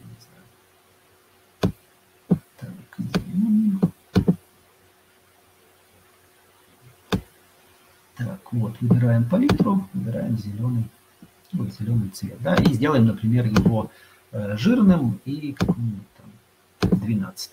Ну, все, собственно говоря, все у нас меняется, да. Бордюры и так далее, ну, то есть все, что, судя там, форматирование в широком смысле этого слова, она здесь доступна. А, есть различные дополнительные функции, например, выравнивание, э, отступы, там, гиперссылки, то есть можно на каждую ячейку повесить разные действия, э, такие как, например, там, вызов макроса, переход на лист, открытие э, другого объекта платформы. Ну, то есть вы можете все оформить. Это как бы первое. Второе. Вам доступны формулы. В любую ячейку можете ввести формулу. Ну, например, там, а1 плюс B2. Да, то есть мы э, формулу. Есть мастер формул, э, который там, я уже, наверное, говорил, там полностью, практически полностью повторяет список формул, доступных в Excel. Есть математические операции, там, текстовые, финансовые, статистические, э, ну и так далее. Да? То есть, например, там, ну, давайте, например, сделаем э, математическую, ну, апс, да, там самое первое, то есть вот указываете указываете там ячейку, ну и, собственно говоря, все, да. То есть у вас э, применяется, у вас применяется формула. Э, дальше. Можно размещать графики, ну, различные графики и диаграммы. То есть столбиковая диаграмма, круговая, линейчатая, ну, и так далее. Да? То есть размещаете график, там, связываете его с, или с областью данных, или вторая возможность, это возможность, как например, в Power разместить Э, срез данных, который напрямую привязан к источнику. То есть здесь что происходит? Вы выбираете источник, давайте, например, выберем, а, ну вот, импортированный наш источник, например, эм, данные. Все, вы, соответственно, выбрали источник, э, у вас появился срез, э, ну, там надо выбрать соответствующие элементы, да, у нас здесь появятся, появятся с вами данные. Этот срез также можно там разным способом оформлять, шапку, боковик, э, ну и все такое. Да, то есть вы можете размещать данные дальше. Э, вы можете связывать, ну, как в Excel Visual Basic Application, да, вы можете управлять макросом вашим отчетом, так и в регламентном отчете вы можете создавать э, обработчики событий, выбирать соответствующий модуль, соответствующий модуль, ну, в котором эта программная логика реализована, ну и дальше этот макрос будет применяться. С точки зрения среды разработки, то есть в платформе Foresight реализована а, реализована так, э, собственная среда разработки. То есть вы создаете, давайте создадим, создадим наш модуль, э, создаете модуль, ну и попадаете, по сути, там, в полноценный, э, полноценный редактор.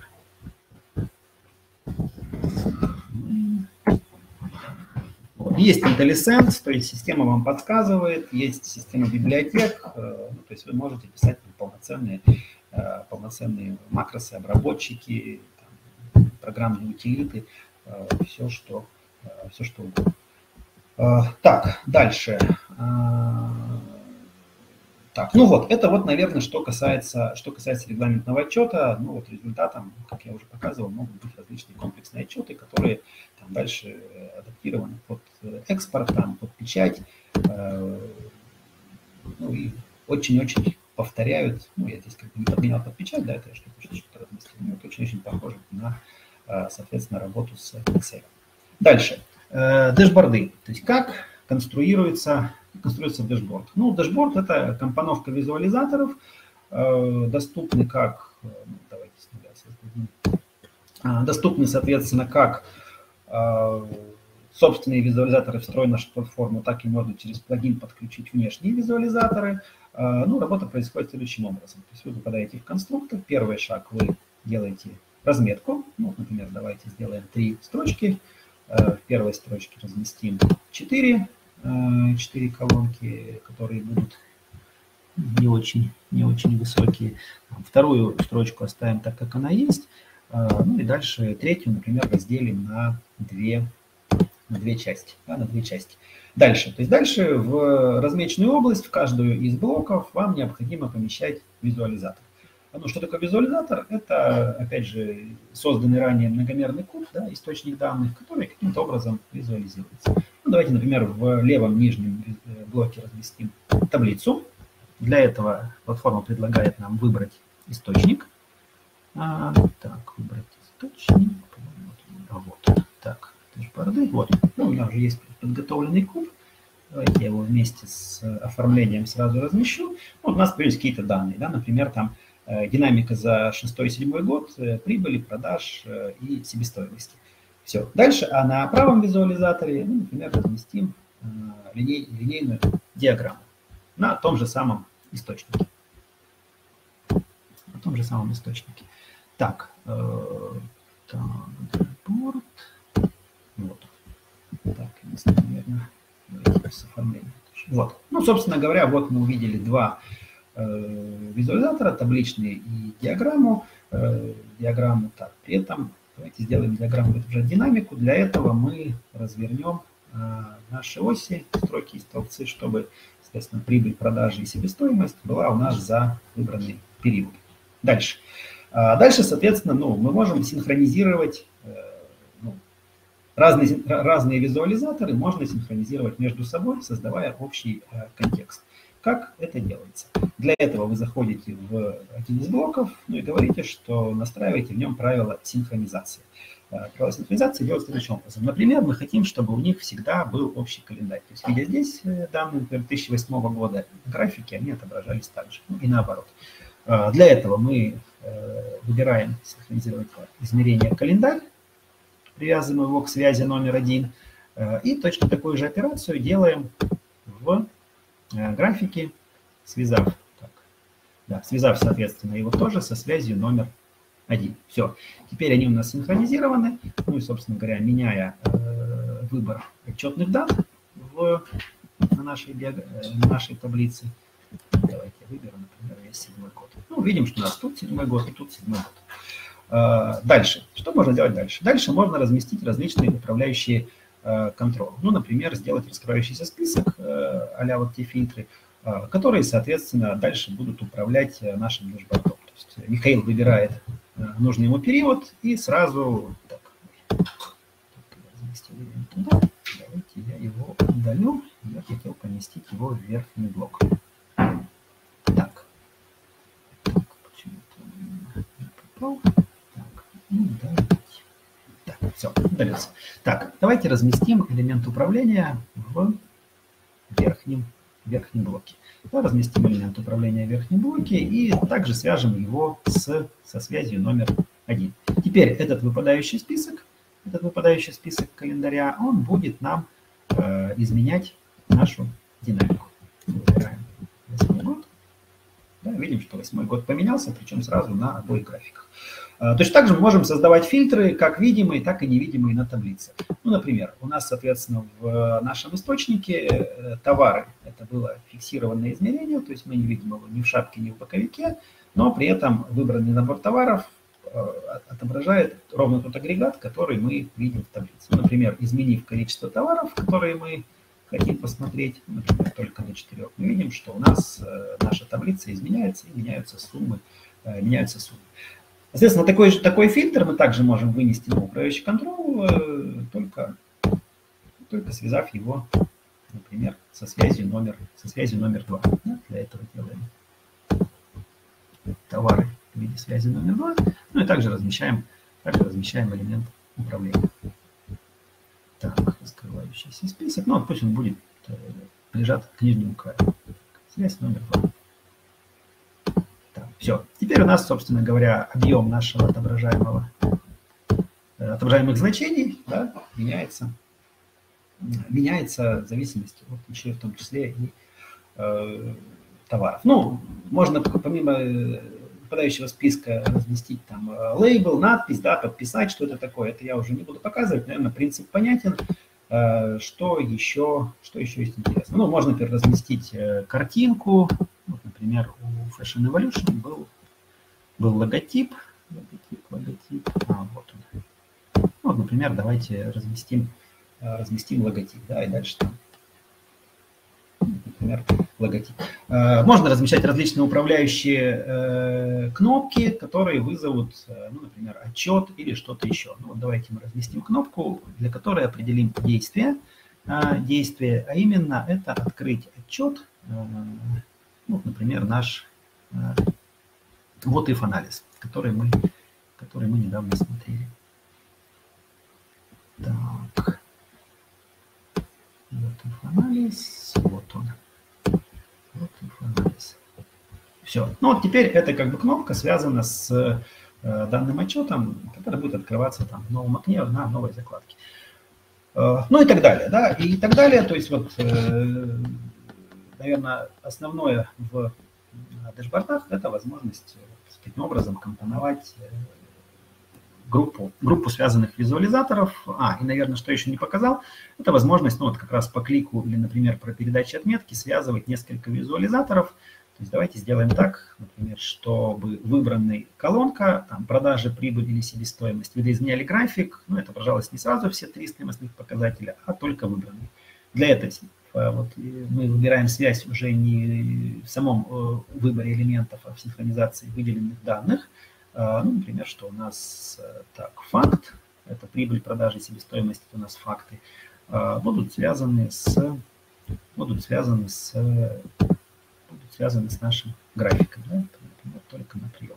Ну, теперь что происходит? Теперь, собственно говоря, выбирая, например, продажи, мы видим только продажи, да, выбираем себестоимость, видим только себестоимость. Ну, э, и так далее. Вот, это что касается, это что касается дэшбордов. И, наверное, последнее, еще буквально постараюсь уложиться в 5 минут, это аналитическая область данных или аналитические отчеты. А, что здесь, да, что здесь? Ну, первое – это Конечно же, возможность управлять э, представлением там, кросс-таблицы, то есть мы можем выбрать источник, причем источник может быть как один, так и можно выбирать сразу несколько источников. Такая возможность тоже в платформе существует в виде системы виртуализации данных. Да? То есть, например, можете разноразмерные источники объединять в единую кросс-таблицу. А, второе – это ну, расположение э, и управление структурой этой кросс-таблицы, то есть выделение для каждого измерения соответствующей роли, расположение в шапке, в боковике или фиксированных. Э, это вот условное форматирование, ну, то, что я уже показывал, это возможность там итогов э, и так далее. Дальше достаточно широкий спектр возможностей по трансформации структуры нашего источника конкретно в этом отчете. Да? То есть, например, сейчас мы видим, что у нас представлен отчет, в котором есть А, измерение менеджеров, Б, измерение клиентов, э, календарь, э, ну, собственно говоря, товары, список товаров, да, и последнее это, последнее это факты. Это вот пять измерений, которые присутствуют в этом источнике. Дальше отчетность позволяет нам изменять, то есть увеличивать или э, сокращать количество этих измерений прямо на лету. А, как это происходит? Ну, помимо модели звездочка, э, значит, э, мы можем работать в том числе и с моделью снежинка. Ну, то есть, например, посмотреть на логическую модель данных, ну, некий аналог ER-диаграммы, то есть как связаны логические объекты между собой. Ну, собственно говоря, платформа Foresight позволяет такие диаграммы на основе Э, связанности метаобъектов тоже формировать. Но мы видим, что модель звезда э, в куб входит клиент, товары, менеджер и календарь, э, да, ну и, и факты пятое измерение. Но, тем не менее, там товары связаны с категорией поставщиком, о чем мы говорили, менеджер с офисом, там с территорией и так далее. Да, то есть идет некая там зависимость измерений. Ну и вот такую, такую собственно говоря, там расщепление, да, то есть, например, список товаров превратить в категории и поставщики, э, такие модификации позволяют позволяется сделать. Да, ну вот, собственно говоря, там, э, нас там. Так, товары, ну вот категории товаров и поставщики, то есть мы, собственно говоря, список товаров можем превратить, например, в список там категорий. Ну или выбрать два и категории, и поставщики. Тогда, соответственно, структура, состав наших измерений он применяется, он поменяется. Ну, мы увидим, что товары уже превратились в товары точка категории, но мы видим уже не там э, обувь такая-то, да, и такая-то. Мы видим категорию женская обувь, мужская э, и так далее. Да, ну и уже мы производим, например, сейчас агрегацию в разрезе не товаров, а конкретных категорий товаров, ну и так далее. Э, это вот, соответственно, первое. Второе – это, наоборот, не разделение одного измерения на нескольких, а, наоборот, объединение или комбинация измерений, то есть такие модификации тоже возможны. Как это происходит? Э, ну, соответственно, мы э, указываем, какие измерения нужно скомпоновать. Ну, например, говорим, сейчас у нас есть так, клиенты и, например, и, например, товар. Да, это два независимых измерения – Э, ну, здесь количество небольшое, но представим себе ситуацию, когда там куб содержит 15, 20, 50 аналитиков. В принципе, с точки зрения платформы Foresight у нас нет никаких ограничений, количество аналитик э, может быть, э, может быть сколько угодно. Вот. При этом понятно, что сформировав такой куб, ну, в каких-то отчетах нужны эти 15 измерений, в какие-то там было бы рационально их объединить, ну и, например, сделать иерархическую структуру, где под каждым клиентом есть только товары, которые данный клиент приобретал. Да, данный клиент приобретал, для этого как раз существует комбинация измерений, то есть мы выбираем э, несколько справочников, э, ну, система говорит, платформа говорит о том, что сейчас придет изменение, ну, собственно говоря, мы видим, э, ой, надо было поменьше, наверное, выбрать, э, ну ладно, сейчас подстроит. То есть он построит нам сейчас декартовое произведение, ну и мы видим, что в каждом клиенте Э, собственно говоря, мы видим список товаров, там при необходимости можно и будет отфильтровать по наличию данных, можно поменять структуру э, расположения, да, можно поменять структуру э, расположения этих измерений и так далее. Ну, то есть мы можем эти измерения объединять и группировать в иерархический справочник. Дальше. Вопросы, связанные вот с альтернативной иерархией, то, что я рассказывал, да, и возможность агрегирования не э, на уровне источника, да, то есть э, плоскими агрегатными функциями, которые просто суммируют там или найдут э, какой-то агрегат между всеми записями источника, а, например, в том числе с учетом иерархии. То есть такие возможности тоже предоставляет ALAP-запрос. Ну, давайте рассмотрим пример. То есть первое, как мы помним, в товарах Э, товарах, мы говорили о том, что существует несколько вариантов представления. Или линейный справочник, или, например, товары по категориям, когда, соответственно, появляется там детская одежда, ну и в каждой категории есть тот или иной э, товар. Это может быть там э, альтернатива по э, по другим группировкам, да, товары по поставщикам и так далее. Понятно, что хотелось бы видеть там не просто э, значение, да, э, у конечного листового элемента, ну и смотреть э, агрегат в каждой из категорий. А, соответственно, такие агрегации, ну, уже как бы матричные, иерархические агрегации, как мы их называем, они доступны в рамках отчетности, то есть вы можете включить механизм агрегации, ну и, собственно говоря, для каждой альтернативы, ну, например, сейчас товар по категориям, сказать, что э, для каждого уровня, то есть отдельно для уровня категории сдать э, механизм агрегации, отдельно для уровня товары, Э, и так, и, и так далее. Ну, давайте, например, для всех уровней зададим одинаковый способ. Это суммирование. А, это суммирование, что мы увидим. Так, прошу прощения, надо было еще указать, да, указать факт. Факт у меня, по-моему, продажи. Так, продажи, так, да.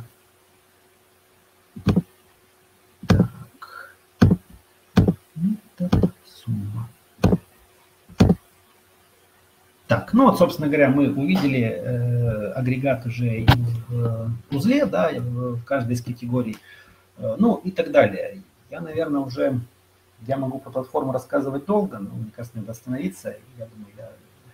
Если есть вопросы, Александр, наверное, готов их ответить. Если нет, то, я думаю, можно передать слово. Да, спасибо большое, Константин. Слушайте, вопросы, правда, в общем-то, такие довольно-таки... Э ну, узконаправленные, скажем так, поэтому на них отвечают э, ваши коллеги, и какой-то необходимости зачитывать их вслух я, честно говоря, не вижу. Мне кажется, такие действительно самые болезненные вопросы, да, которые могли возникать, вы осветили их, поэтому, собственно, у слушателей, очевидно, и нет этих вопросов. Поэтому, да, спасибо вам огромное. Я думаю, можно передать э, слово Илье. Так, да, Илья? Да, Кость, спасибо. Коллеги, добрый день. Слышно ли меня? Да, отлично. Так. Сейчас я попробую расшарить экран. Должно что-то получиться. Все получилось. Отлично. Добрый день, коллеги. Да, э, говоря о FAB, э, Foresight аналитическая платформа, невозможно не вспомнить про FlyBI, тем более, что эти наши продукты прекрасно дружат между собой. И э, возникает вопрос, как же воспользоваться вот тем великолепием прекрасным, который продемонстрировал нам Константин в части создания источников данных для того, чтобы использовать в целях э, self-service на самом деле ответ очень простой. В FlyBI э, есть интеграция с фапом э, на уровне источников, и подключиться к ним можно очень простым способом. Я сейчас зашел во Fly, э, создал проект новый и используясь функцией подключения к источнику. Вот здесь нам понадобится выбрать вкладочку «Источник», Foresight аналитическая платформа, выбрать необходимый тип СУБД. Сейчас я быстренько на память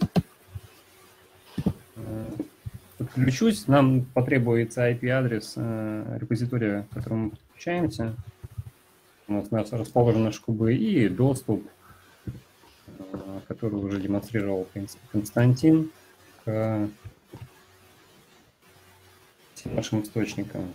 Заполняем вот буквально 4 поля, появляются у нас все поддерживаемые источники для того, чтобы с ними продолжить работать в Fly.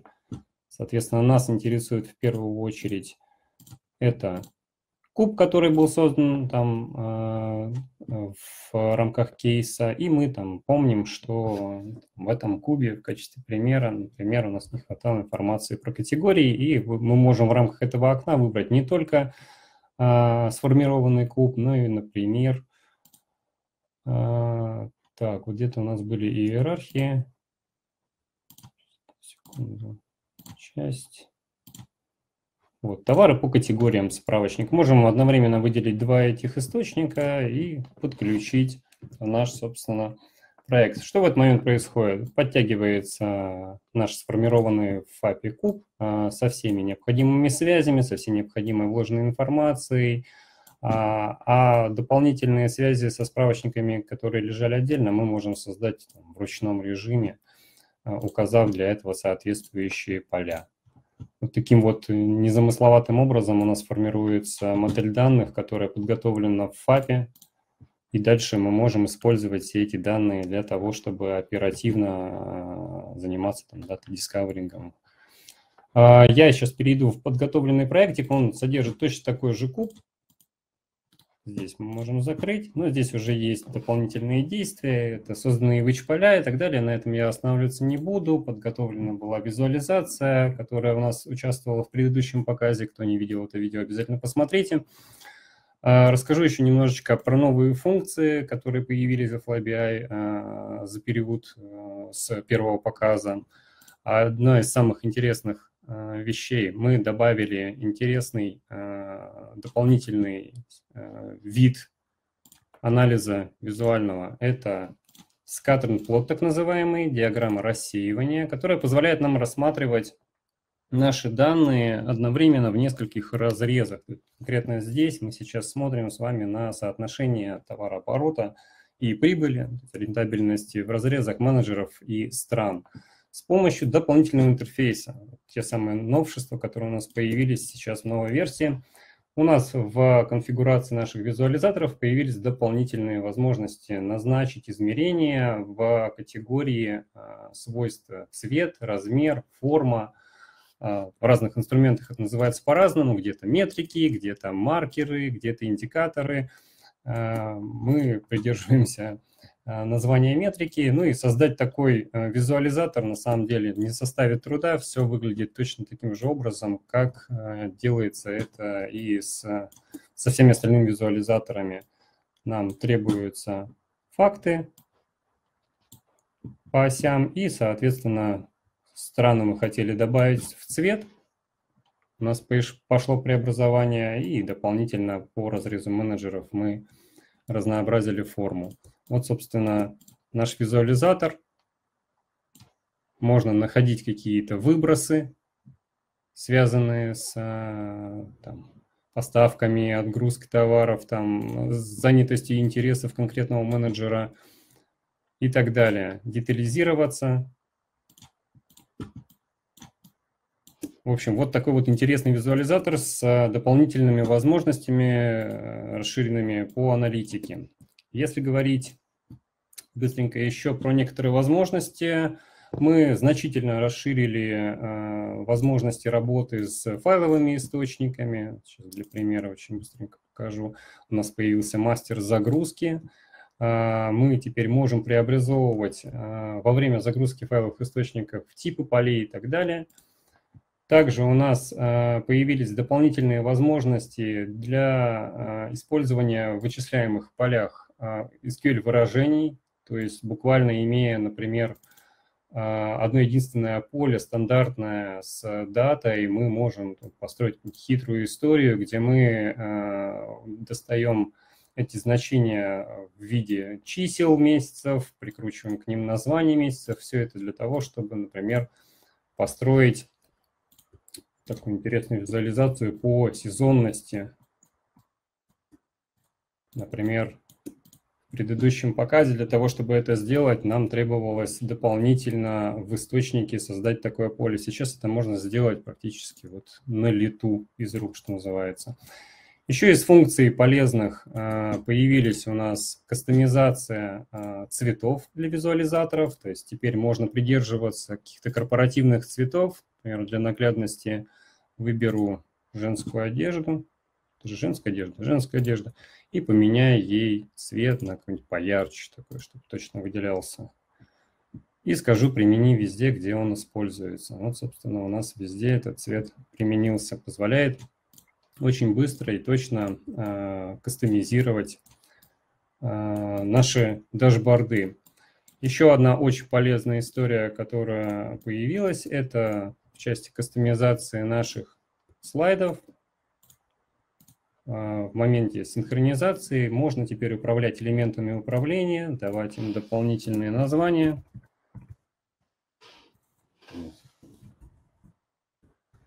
Названия менять местами, ну или в принципе э, влиять на их появление на, э, на слайде. Следующий момент, э, большой и очень интересный, это вот такой вот интересный документ. Здесь у меня служебное окно вылетело. Так. Мы создали замечательный документ, который называется спецификация API, который позволяет подключать любые внешние визуализаторы, которые вам потребуются в ваших проектах для анализа данных. А, он содержит в себе все необходимое по подключению внешнего визуализатора, параметры, которыми можно управлять, свойства, которые вы можете использовать в рамках а, ваших визуализаторов. Это могут быть как, собственно, написанные визуализаторы, так и использоваться какие-то библиотеки, например, D3.js или eCharts в качестве демонстрации подобного. Мы поискали какую-нибудь интересную диаграммку, нашли в библиотеке D3 такую хордовую диаграмму. Я сейчас не буду заострять внимание на том, вот, собственно, на том же самом срезе данных на кубе, который у нас э, используется в предыдущем кейсе, мы вот можем таким образом донасытить наши, э, скажем, диаграммы, которые есть в поставке, э, своими какими-то дополнительными уникальными визуализаторами. Например, вот она у нас хардовая подключена, есть полярный график, есть дуговая диаграмма. Все это стало возможным с помощью этой спецификации. Все это находится в рабочем состоянии. Можно влиять на отметку, перестраивать визуализацию.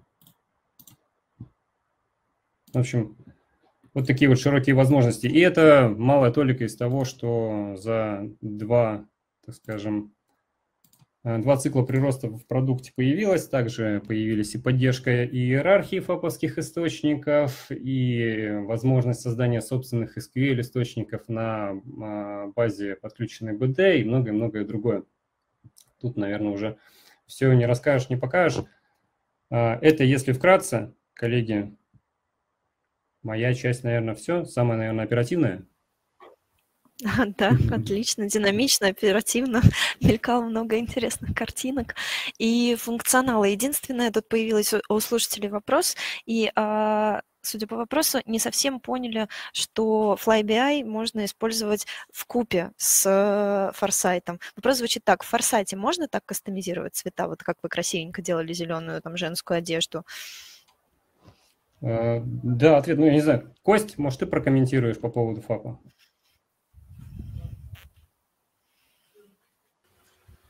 Да, в Foresight платформе есть э, специальный объект, он называется стили, то есть э, он предназначен для чего? Ну, для создания брендбука, то есть вы, соответственно, а, там задаете оформление, ну и дальше это оформление можете применять там во всех, у всех инструментах отчетности. Mm-hmm. Например, чтобы у вас там ряд был, ну, ряд был красным, или там, не знаю, шапка была желтая. Mm-hmm. Так, Поэтому, так, а другой вопрос. Можно ли все кружочки, вот вы показывали вот этот скеттерплот, а, сделать одного цвета, там, где у вас было все разноцветненькое по странам, по менеджерам, а можно ли сделать это все одного цвета? А, на текущий момент настройка этой метрики цвета, она а, зафиксирована в виде последовательности цветов. На нее можно повлиять через конфиг файл, а конкретно обозначить на текущий момент, чтобы э, конкретная точка была, например, желтой, сейчас нельзя. Так, ну тут практически все по форматированию. Сейчас еще два буквально вопроса осталось. Можно ли убрать фон у визуального элемента? А, так, убрать фон, визуальный элемент, имеется в виду, наверное, визуализатор? Я думаю, что да, наверное, Убрать каждая отдельная фон, визуалка, а... ну, чтобы он был не белый на сером, а вот как бы прозрачный, вероятно, об этом. Прозрачности, честно признаюсь, не добавляли, но влиять на фон, конечно же, у нас можно. Давайте, кстати, может быть, я и... Ну, нет, да, он у нас все равно останется белым. Или доступная визуализации это сплошной фон одноцветный или градиентный. Угу. Так, а легенду по менеджерам а можно отображать? Легенда по менеджерам, ну, а, так, ну нет, здесь на текущий момент то, что используется в метриках, а, является, ну, по сути, уже отражением легенды. Все выводится на уровне подсказок. Так, и сейчас из тех вопросов, которые вижу, сразу просто задам, чтобы не дожидаться, пока коллеги ответят в чате. А, он уже не про визуалки, про возможность совместного использования. Ну, как звучит вопрос? Есть ли коллаборация, в частности, возможность делиться графиками с другими пользователями и использовать общие дашборды? Так, в рамках FlyBI, если мы рассматриваем FlyBI, э, возможность э, коллаборации и расшаривания визуализаторов или там, целых дашбордов у нас находится в ближайших планах, э, конкретно в четвертом квартале этого года. Поэтому пока над этим работаем. Угу. Все, давайте самым последним. Э, если это будет быстро, то покажем. Если нет, просто да, уже время подходит к концу. А, Тимур Крюков просит, могли бы вы показать горизонтальный барчарт? Горизонтальный? Да, конечно. Угу. У нас он называется линейчатый. Ну, например, не знаю, давайте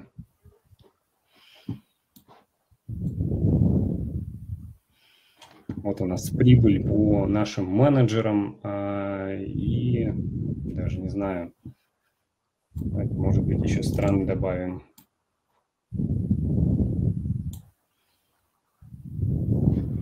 И немножко кастомизируем, например, соберем это в укрупненный ну, честно, на лету так э, придумать бизнес-смысл, наверное. Ну, понятно, да. да более осмысленно, подойдя к этому, при наличии с осмысленных данных, конечно же, можно построить любого рода визуализацию. Вот такая идет у нас сейчас в поставке FlyBI. То есть большинство именно типовых бизнесовых визуализаторов, оно доступно дополнительной кастомизации.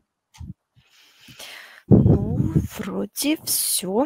Всех слушателей, да, а, мы порадовали ответами, демонстрациями.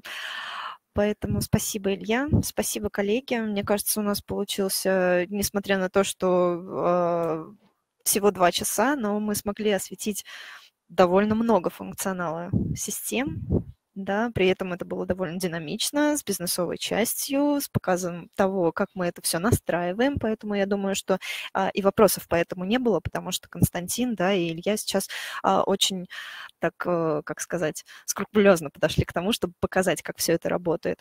Вот, поэтому спасибо вам огромное. А, в чате я направила там все возможные контакты а, для, для получения, в том числе демо-доступа, да, к системе, к тому, чтобы можно было попробовать а, разобраться, да, и как-то а, немножко пощупать своими руками работу в системе. Вот. Но опять-таки говорим, что все-таки а, советуем пройти обучение. По обучению тоже с нами можно связаться. Вот, а запись будет выложена на YouTube-канале, тоже ссылочку направила. В общем, спасибо всем огромное за сегодняшний вебинар. Мне кажется, получилось очень здорово и полезно. Спасибо всем большое.